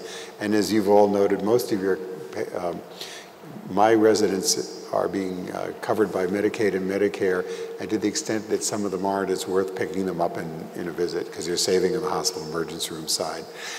Uh, people mentioned uh, the issue of food, and we know that our low-income populations often are missing uh, a, a week of meals a month. So not only do we have community gardens, but community gardens are not a year-round solution. So we partner with local food banks, food shares in uh, Michigan. We're partnering with something called a mobile grocery, which brings very low cost or free food to our residents, healthy food and vegetables, vegetables and fruits particularly, uh, which is really essential. And we know that it's, um, it's not only determinative of health, it's obviously key for uh, young children's uh, development. So uh, housing is an important prescription. And we've already, and we know that medicine and actually medical compliance is an important part of prescription, but we know that healthy food is part of prescription. The next part is exercise. So all of our projects not only have exercise rooms, but more importantly, we're building a social um, socialization around exercise. For example, walking clubs, competition, uh, for seniors, chair yoga. I, I by the way, uh, mocked the chair yoga and said, and, and was told, no, it's, it's, it's for safety, that it's actually very important that seniors who try and do yoga not in chairs, if they're particularly inflexible when they start, it's, um, that it's a higher risk of accidents. At any rate, so we're doing all, we're bringing all kinds of programs uh, on, the, on, on the exercise part. We know that uh, low-income people often, particularly when they're unsafe neighborhoods, become socially isolated, and that leads also to a lack of cognitive development in children and how important socialization is. So safety, it turns out, to be hugely an important social determinant of health. And uh, we, uh, and in very low-income communities, we've even come to building fences and uh, spending a lot more on security you know, there's the old liberal in me thinks that we should all be open, but what I've realized is we have watched our communities blossom when we have made them much safer. Um, and then that within that blossoming, you begin to get these socialization, which is really important. Uh, and the last thing is we know, particularly from the incredible work that Kaiser did uh, about the impact of adverse childhood experiences on, on children's development. And I actually believe that is one of the key causes of multi-generational poverty. Um, and if we're going to overcome it, so safety begins is very important. Then what happens? Uh, so we know that domestic violence is an adverse childhood experience. And typically in affordable housing, what you do with domestic violence is you evict the family, and that's a second adverse. So we just doubled the kid's life of chance of lifetime condemnation. So we in the industry are moving much more towards trauma-informed property management, trying to understand these as solutions. I could go on and on, but the point is to try and bring all these together. The hardware investments, a community room, computer for after-school education, health exam room, social service consulting room, a few other things, actually are not that expensive, and we we're able to build them easily into our renovation budgets. The cost is in we need to hire one resident service coordinator.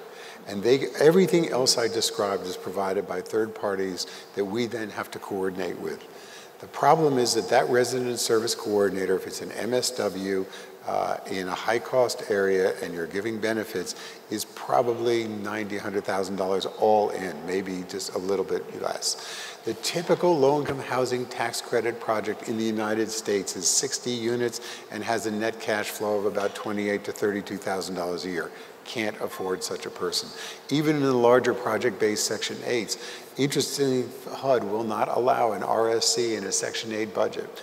Um, so I actually believe that if you want to look at the, at the highest leverage points where we can intersect, it's three places. It's number one, educating and, and, and, growing what is that hardware physical infrastructure that allows housing truly to be the prescription that you want. Number two, developing the, the funding screen for the resident service coordinator. My sense is if the healthcare system could pay for that one position, it would be huge payback for you. Um, and then number three is how do we, is collecting the data to prove the case so we can take this to scale.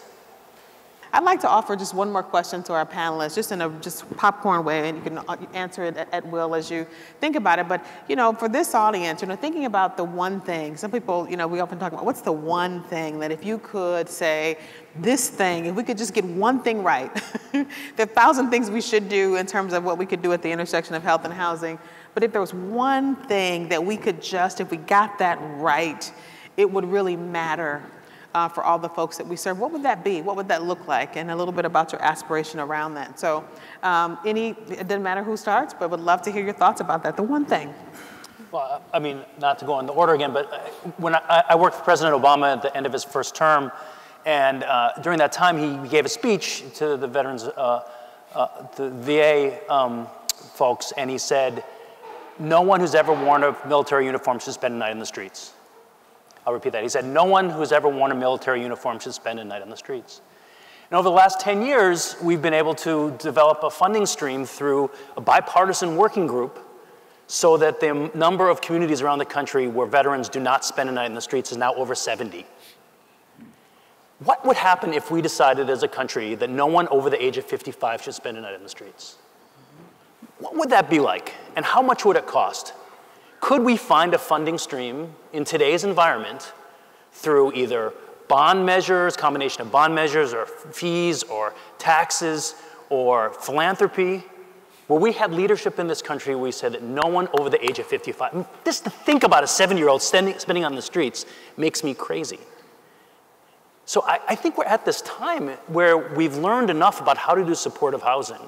We've learned about financing. We know how, we had LIHTC system is working sometimes um, where we can build all these pieces together. Where I really believe that you know, if Jason had the chance to not have to spend his Medicaid dollars on housing, but could spend it on resident service coordinators and do what we do in the healthcare, which is more in the center of what we do, and we had other streams so that we could build enough housing so that no one over the age of 55 spends a night on the streets. Going to keep saying that. So it just becomes what we do. So that's my big, bold idea that I'd love to leave inside the Beltway to go back to San Francisco thinking that we can achieve that in the next five to 10 years so no one the age of, over the age of 55 spends a night on the streets. Right. I'm struck by the idea of collective impact, um, what the Oregon folks have been doing. Um, and I got a chance to talk to Peter Repp, who is the uh, now retired CEO of Oregon Health Sciences University, and he was coaching me on some of the things we're doing. And he said, well, you know, out here in the Northwest, we got a little bit more collective DNA. Um, and I can't underestimate that's a really important piece. We're already starting this conversation here. But to give you an example, so Corporation Supportive Housing is helping us with what we call flexible housing subsidy pools, something we're modeling off of what's going on in LA County. And in LA County now, they're able to build about 2,000 units because people are contributing to this fund. It's essentially braiding all the funding available for folks that have homelessness into a common fund. Now, if we do that in the city of Chicago, and it's uh, the third-party administrator has been announced, and they're just spooling up and everything, but if we can imagine every hospital investing in that, and there's 35 hospitals in the region, and we know there's about 2,500 chronically homeless individuals, there's, yeah, boom, right. Um, it's the right size. Yeah, it's the right size. Um, if we can get everybody to contribute as they can, you know, some of our safety net hospitals We'd have to do this on a sliding scale. But the potential exists within this flexible housing pool if every hospital contributed to house every chronically homeless individual in a region. So collective impact. somewhat related to uh, what's just been discussed. I think in the affordable housing industry, we need to build a much bigger tent. It has seen such incredible successes over the course of the last um, many decades.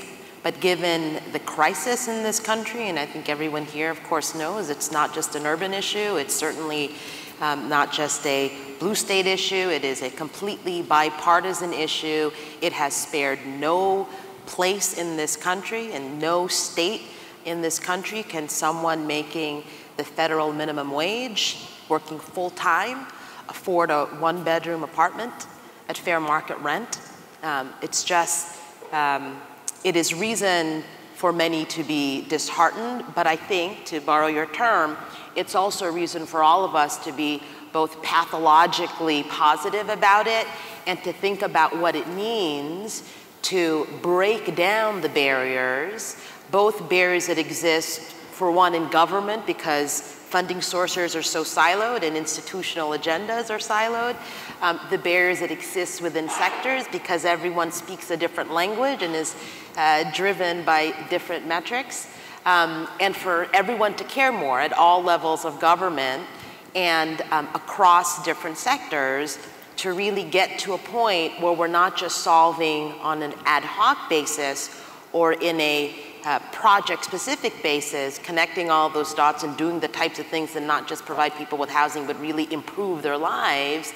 Um, but we're doing it in a way that is um, that uplifts entire communities and really thinks about what that means not just for the person but for the neighborhood and ultimately for the larger economy.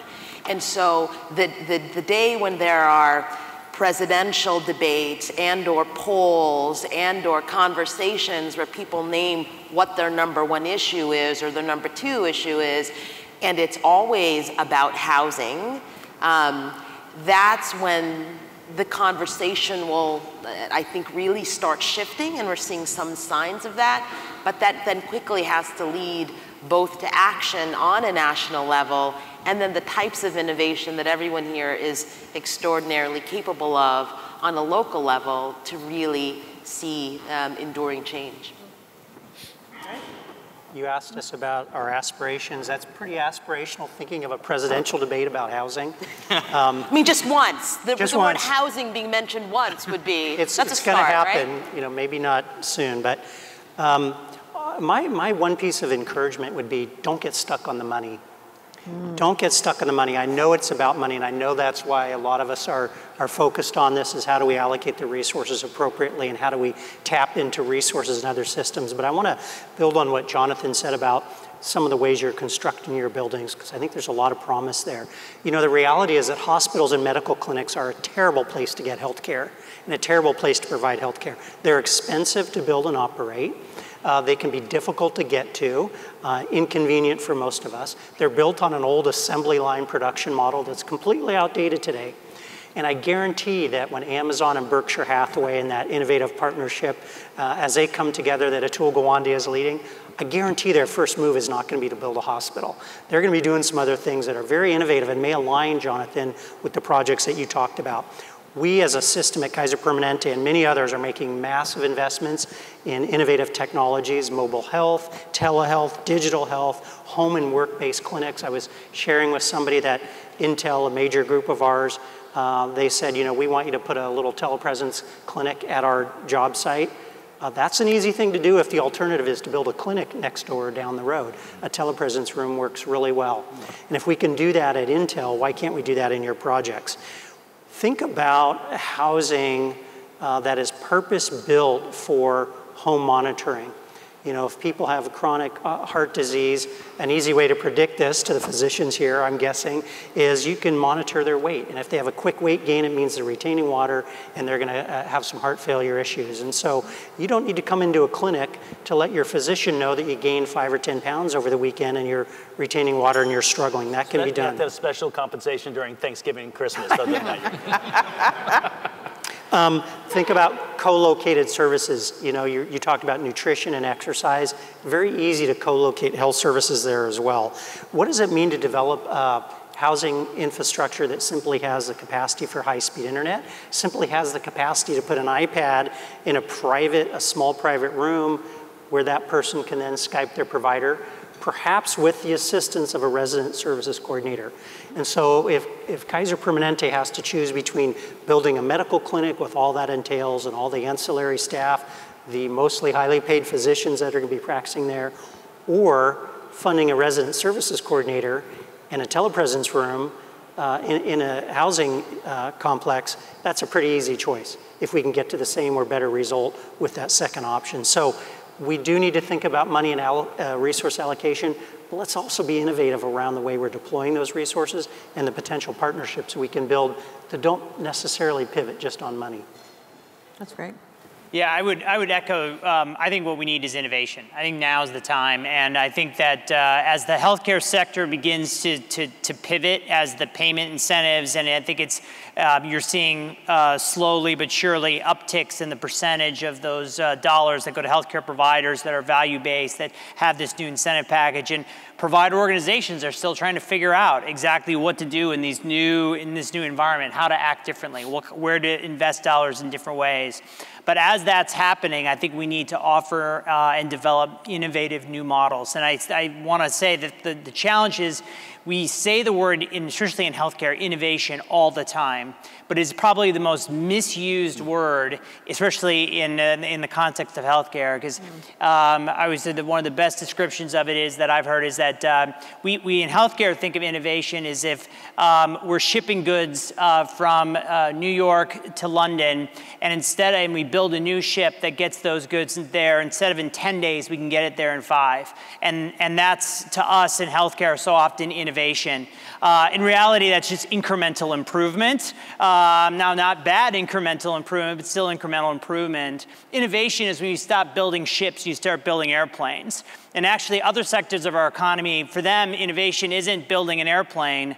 It's actually sending the schematics for that good straight to that customer or to a 3D printing uh, plant right near that customer and making it to their exact specifications and getting it to them in a matter of hours not days. And I think that it's ultimately, that's where we need systems like healthcare and housing is to really think much bolder, much more aggressively.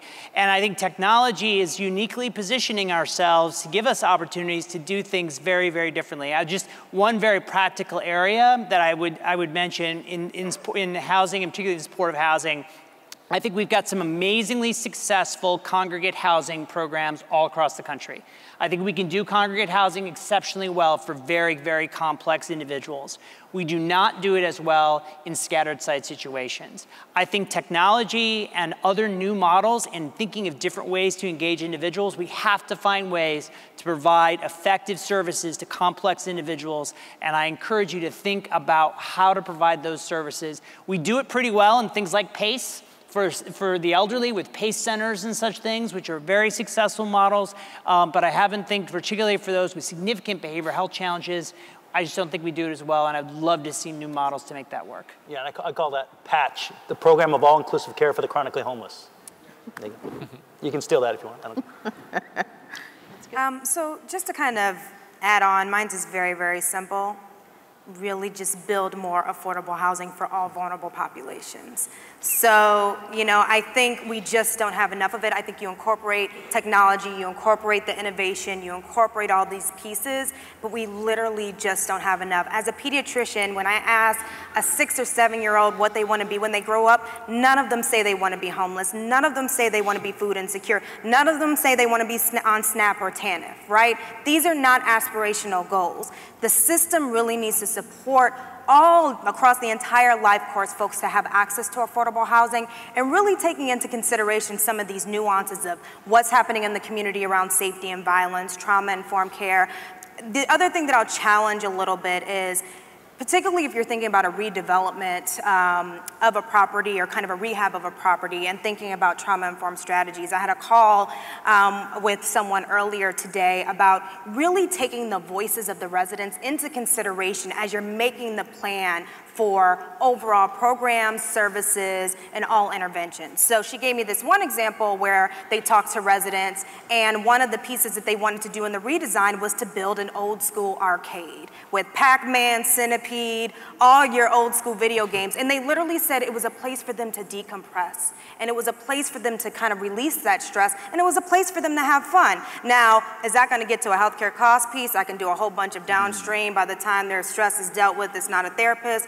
It might not hit the pocketbook in the same way, but you're literally impacting someone's life in a much more robust way. So I also challenge you to kind of think about who you're serving, figuring out what the right questions are when you're serving that person, and don't be stunned by their response it sometimes might not be co-location of a health center. Sometimes it's not what we're expecting. People want choice, they want access, and so I would really also challenge to be open to these different solutions that don't always fit sometimes in the box that I'm very much guilty of sometimes creating, and I really think that that's critical to improving the health of those who we're serving. Mm -hmm. Mm -hmm. Great.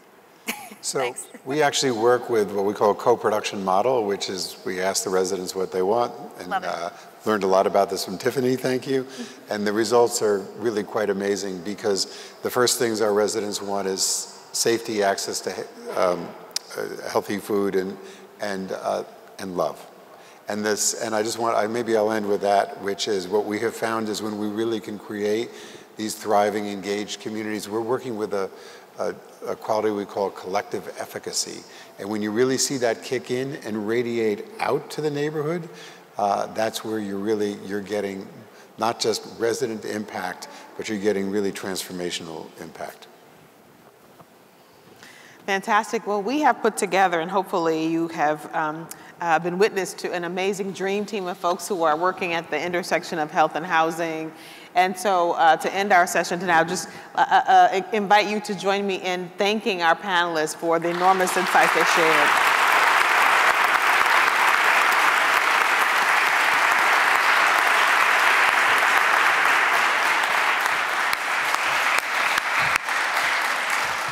Thank you, Tiffany, and thank you to our panelists and Orion for just an amazing and passionate discussion. And this ends the discussion part of our uh, program today, but it doesn't end the discussion. So we're inviting all of you to go out to the Palm Court and uh, network and uh, continue the discussion over cocktails. But then let's not let the discussion end tonight. Let's carry the discussion out onward and not end that discussion, but let's get some results. So. So you are all, uh, if you would all adjourn out to the Palm Court and they're going to transform this room for dinner. Thank you very much. I think you will all agree the panel this afternoon was fantastic. Um, last year we last year we had our first symposium and dinner on Pay for Success. And we had no way of knowing it would catch on fire the way it did, uh, informing 300 attendees and 68 corporate sponsors. This year, I think, is a testimony to the subject matter. We have over 350 attendees and 76 corporate sponsors. I'd like to acknowledge our board members, starting with the three members who are co-chairing this event. And if you would please, as I, please stand up as I call your name, Ellis Carr, Sherry Santos Wust, and Shel Schreiberg.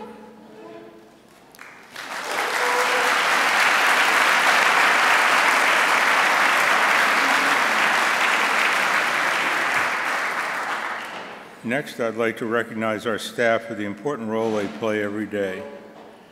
Uh, we truly have a terrific organization. As I usually say when people come in to visit our office and they, people around the table start acknowledging themselves, I get the pleasure of sitting back and watching these talented people work.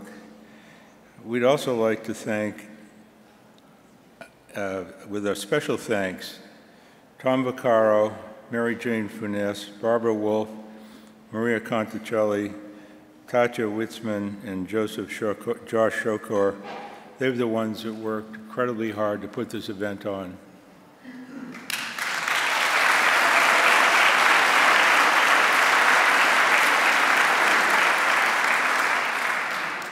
We'd also like to thank tonight our 77 corporate sponsors for their generous support helping NHPF continue with our mission.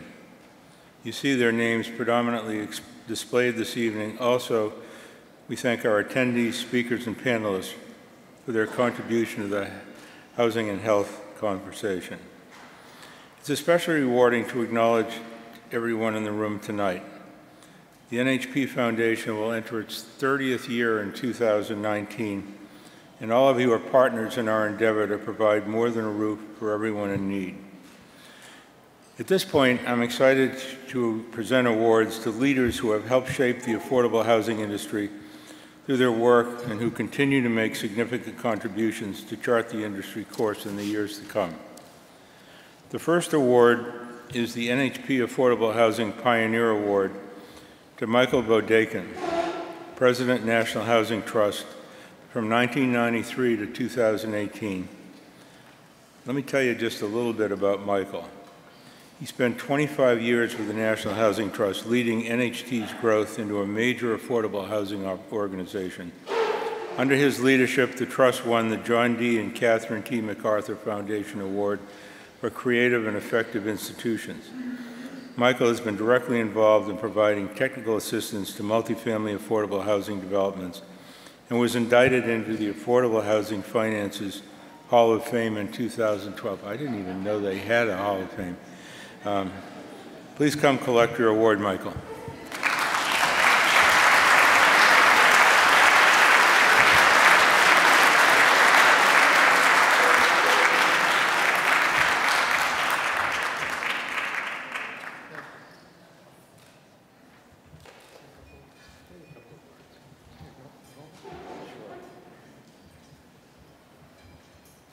Well, I didn't remember being indicted, but.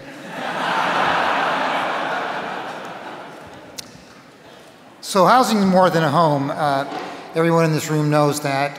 When done right, housing is a platform to provide a better educational opportunity, better health opportunities and outcomes. And so it pleases me so much to take this award tonight from the NHP Foundation. But I must say it pleases me even more to be involved in a higher calling, a higher calling that all of you are involved in, and that I appreciate the work you do every day for Americans who need shelter, who need education, who need health, and who desperately are out there seeking our help. Thank you, and thanks to the NHP Foundation. Thanks, Richard.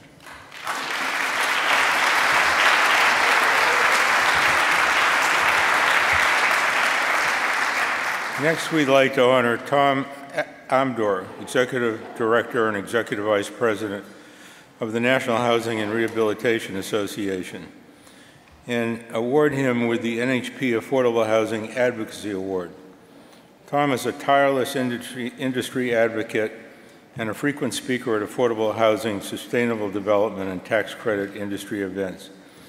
He's also frequently published in a variety of industry journals and he's part of the younger generation, people coming up in this industry that are very welcome and very, uh, we're very glad to see.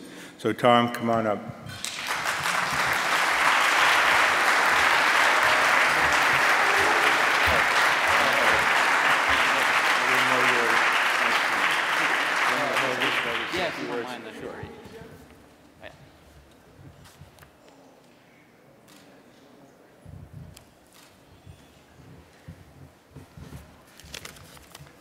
Well, uh, thank you so much, Dick. Thank you to the NHP Foundation tonight.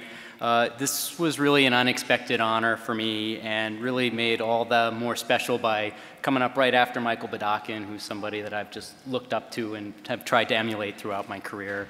Uh, when I joined NHNRA 14 years ago, I really wasn't uh, looking to be an advocate. I was really trying to get out of my job in government relations, doing work for telemarketers.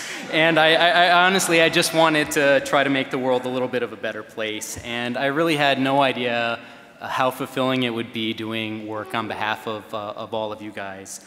Um, you know, uh, the, finding solutions to make affordable housing more attainable is obviously really compelling. It's, it's challenging work. Um, what we try to do at NHNRA is try to convene, try to educate, try to bring people together, try to find collective solutions. And, and when we're successful, when we change a program, enhance a, a resource, uh, the collective um, result is that all of you around the room, uh, financing, developing, operating, managing, building affordable housing, are able to do your jobs better. And that's really what it's all about. And uh, I'm just really grateful to work in an industry where I can assist so many good people doing such great work, um, really helping reach the most vulnerable members of our community. So thank you very much. I, I really appreciate this.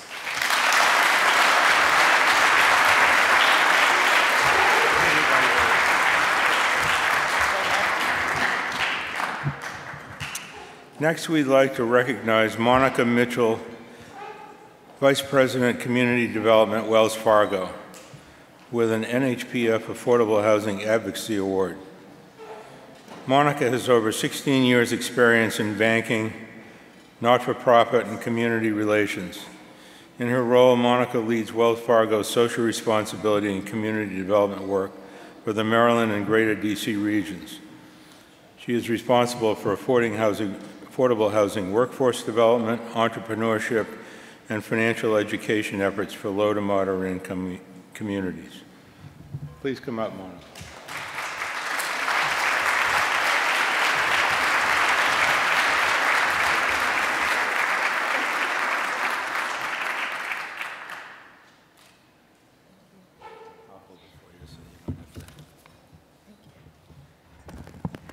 That is a surprisingly hefty award. it's a good weight. Um, it is my honor to, uh, to receive this award tonight from the NHP Foundation. Thank you. Safe and affordable housing is a basic human right. And it is in my honor to work within Wells Fargo in this space to make sure that our systems work for the benefit of all within our communities. It was Dr. King who said in response to the promise of safe and affordable housing that now is the time to make real the promises of democracy. Now is the time to open the doors of opportunity to all of God's children. I think that at the heart of this work is making sure that we don't forget that promise and work towards it with a sense of urgency that we all know that it is. Thank you so much for this honor. I appreciate it. Thank you.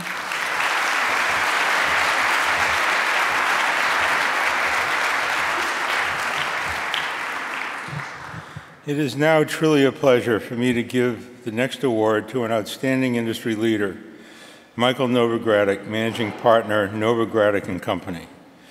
Michael is receiving the NHPF Affordable Housing Visionary Award.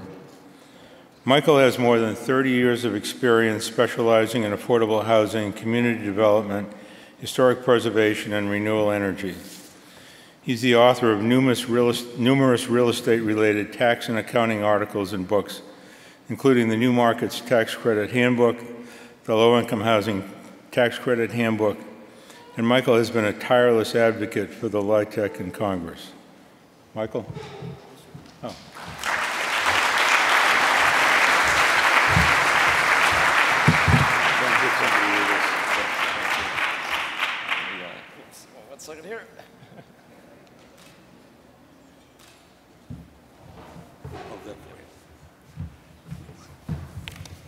Great. Uh, thank you, Dick. It's uh, truly an honor to receive this award, so I thank NH, uh, NHP Foundation for giving me the award.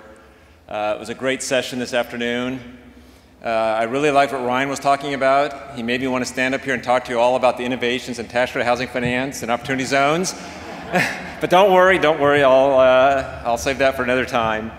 no, this really is a great event that NHP puts on and it is something that it's important, I think, for all of us to get together and talk about what's working as well as what isn't working. So we keep doing what's working and stop doing what's not working and find ways to fix the things that aren't working, uh, as well as to celebrate what it is that we have accomplished. It's important to take a moment to celebrate. It's also important to look at what hasn't been done yet and figure out how we're going to do it. So last year we had Pay for Success. This year we had Health and Housing. And I, for one, once again want to thank uh, NHP Foundation for all that they do in pulling these events together. And I look forward to this being an annual event. Thank you very much.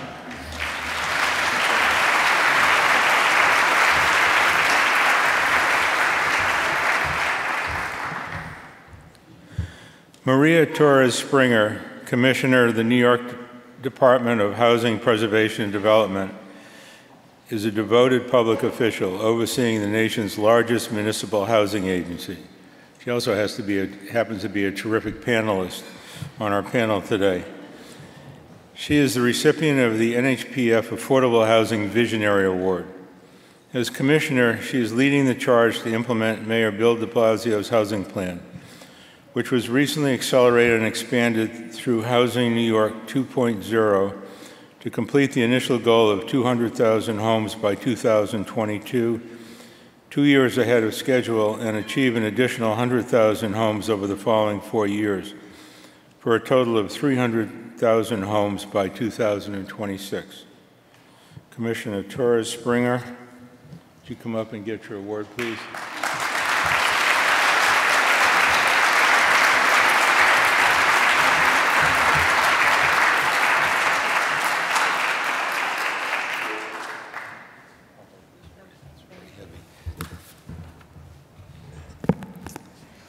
Thank you, Dick, and thank you to the NHP Foundation.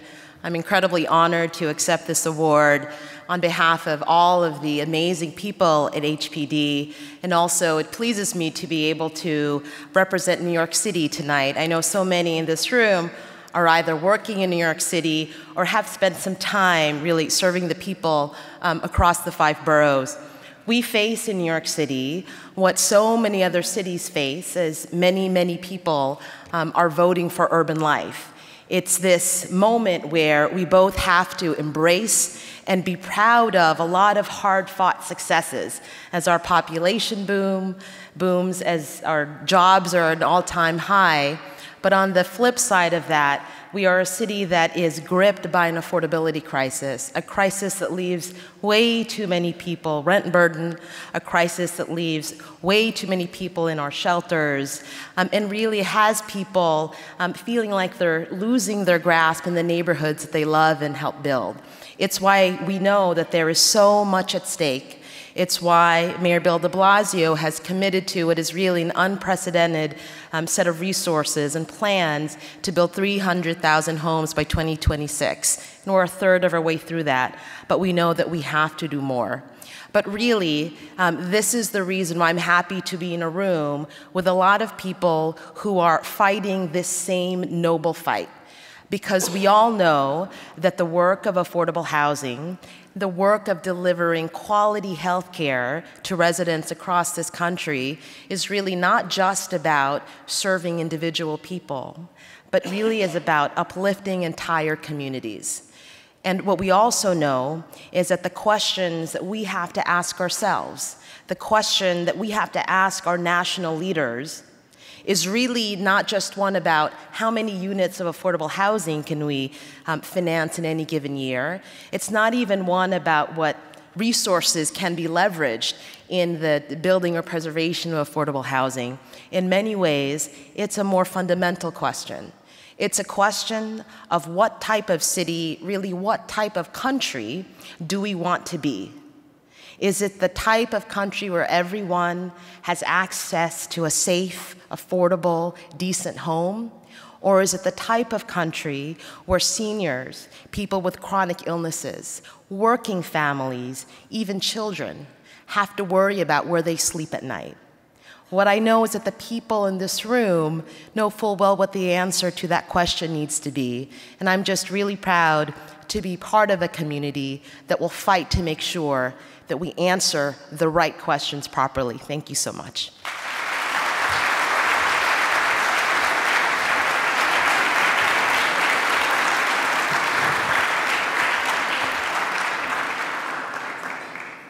And finally, I'd like to bring Patricia Diaz-Dennis, a wonderful and dedicated trustee of the NHP Foundation, to present a special award to a very special guest tonight.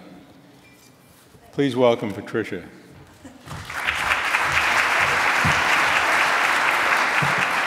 Thank you, uh, Dick. Uh, even though I'm fighting a cold, as you can hear, It was very important for me to be here tonight, not only because I love NHPF and I've been on the board for far too long now, um, but I wanted to induce, introduce the first ever NHPF Affordable Housing Leader Award and be here when it was given to Henry Cisneros, with whom I share a hometown.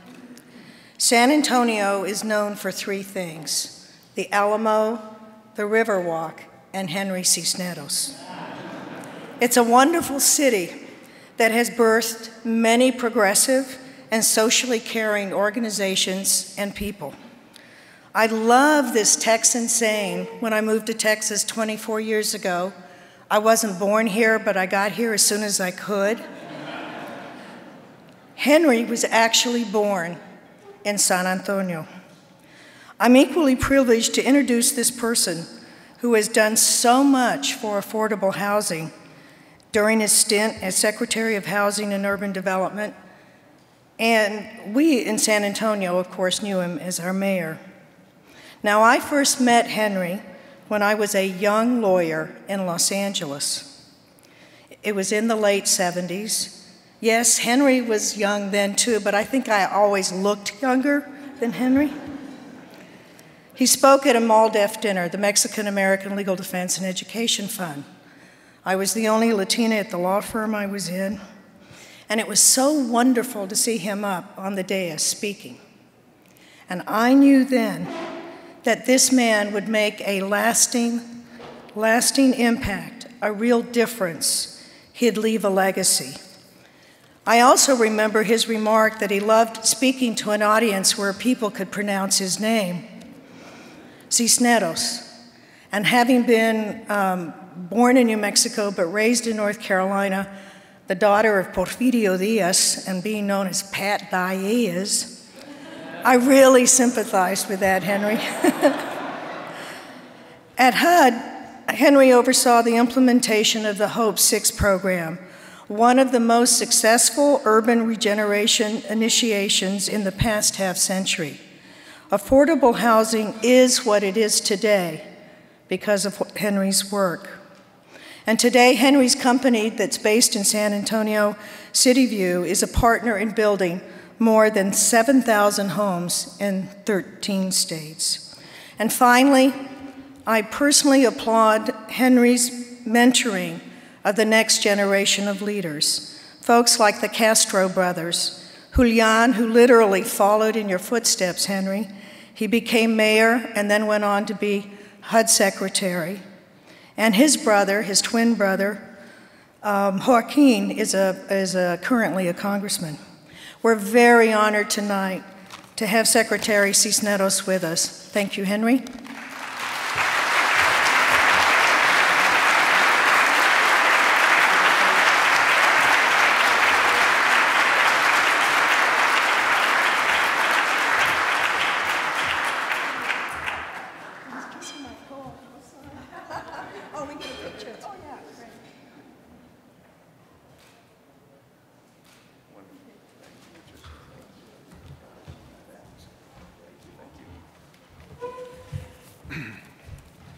Patricia, thank you very much. It's a special treat to be introduced by a longtime friend and a person who I've respected for so many years. As a professional woman, as a board member of national corporations, um, as a civic leader nationally, including uh, nonprofit organizations such as this, she's given something like 15 years to this board but also served other national organizations such as as chairperson of the Girl Scouts, for example. So she's a, a really uh, accomplished leader, and I'd ask you just once again to thank you, ask her to thank you for her civic service to the country. And I also want to express my respect for the other honorees this evening Michael Bodaken, Thom Amdur, Monica Mitchell, Michael Novogradac, and Maria Torres Springer, all of whom we, we have observed their work, respected their work over the years. Um, massive accomplishments that have touched many, many lives. And again, I'd like to ask you to join me once again in saying thank you and congratulations and respect to those persons. Dick Burns, thank you for your leadership. Uh, Chair Ralph Boyd, thank you. And if I may take one moment of personal privilege, I want to single out a person who's in the audience whose work I've admired for a lot of years. Um, he grew up in the housing business, the traditional market oriented housing business in New York. And then his life took a different turn as he really dedicated himself to creative, pioneering, uh, nonprofit work.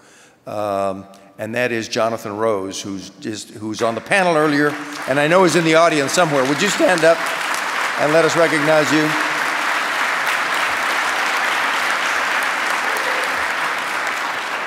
Jonathan taught me over the years about a dimension of housing which I'd never really thought about in my, my own work, which was housing as a transcendent kind of institution home, if you will, as a transcendent place. Because, yes, home is shelter, but it's a lot more than four walls and a roof, a dry place, a place to be safe when darkness comes. And it's a lot more than an economic transaction, although it's a major economic decision for every family. But when you break it down to its essence, home makes it possible for people to live their lives the essential dramas of life, if you will, play out in these places we call home.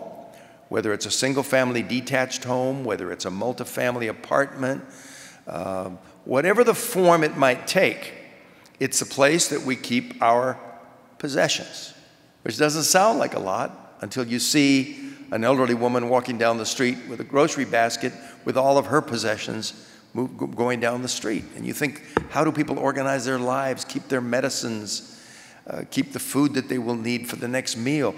We do that in these places we call home that are safe and, and secure. It's a place where people gather for happy occasions like bringing a baby home from the hospital just born or, or a family birthday or a Mother's Day celebration and sad events like a family that gathers for a wake and remembers the wonderful things about the person who has passed. It's a place where we nurture our children, sit around the family table and discuss everything from tomorrow's homework to the hoped for vacation of the summertime. It's a place where people pray and share their deepest sense of their fears, their hopes, their ambitions uh, with their Creator in the safe walls of, of home. And it's very often a place where people heal, whether it's something as simple as recovering from a minor cold or having to undergo a more extensive therapy as might be associated with cancer, for example. And all of this sense of what a home is has been hammered home to me on a number of different occasions. Uh, one occasion, it had to do with an earthquake the um, Northridge earthquake in Los Angeles, where uh, the president asked us to fly out that day because uh, the roads were impassable and the Secretary of Transportation needed to be there and the head of FEMA, Federal Emergency Management, and I was asked to go because the estimate was there were 30,000 people out of their homes. It was Martin Luther King Day, January 17th, 1994, and we flew from Washington and we're in Los Angeles by midday and found people uh, in parks, um, in school gymnasiums, uh, but, but they couldn't go back into their homes because the authorities were afraid that the next aftershock would bring down the houses and, and, and, and hurt or kill more people. So the immediate job was to how do you find some kind of shelter for 30,000 people between 4:34 in the morning when the earthquake occurred and darkness and rain and cold coming that evening.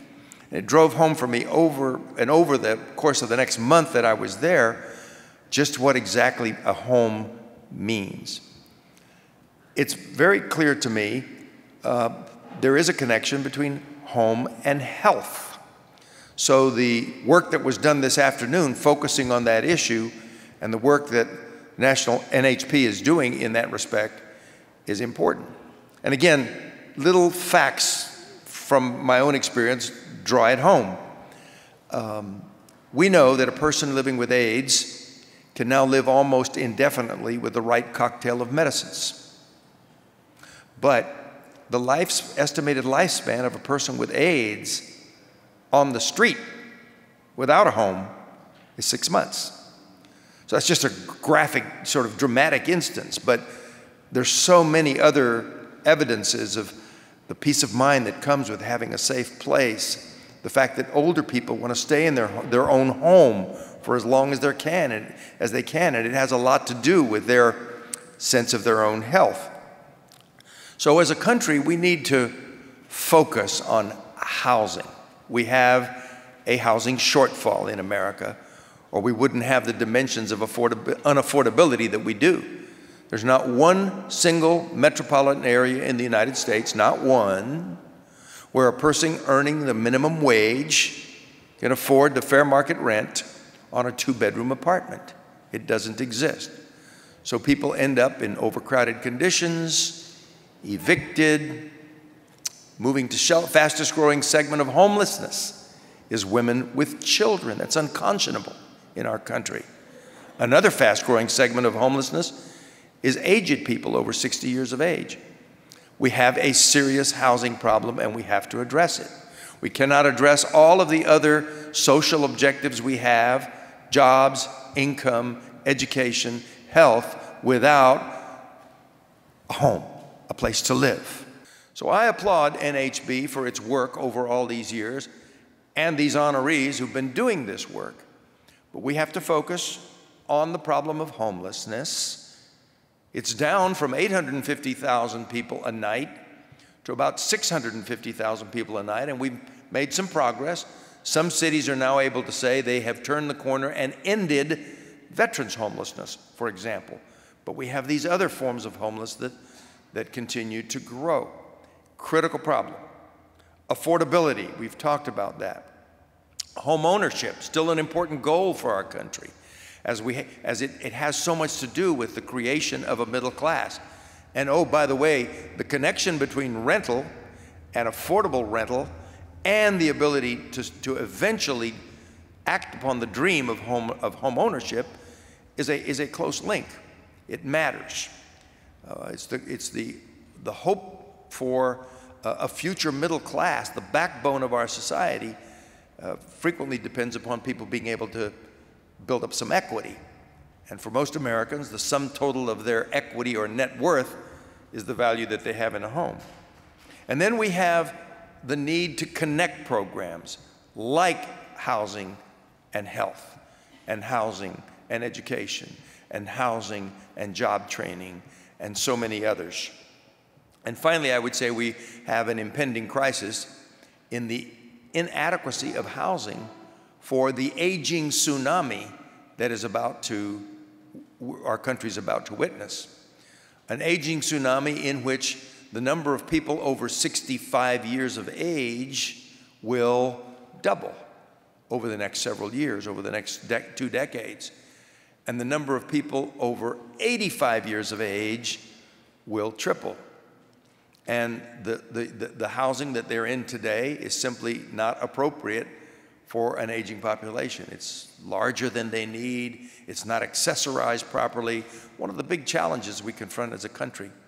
So, as we think about the American future, both in traditional terms of greatness, but in other terms of decency and compassion and understanding the phases of life and the dynamics of life, we simply have to understand more clearly housing is the very base of it.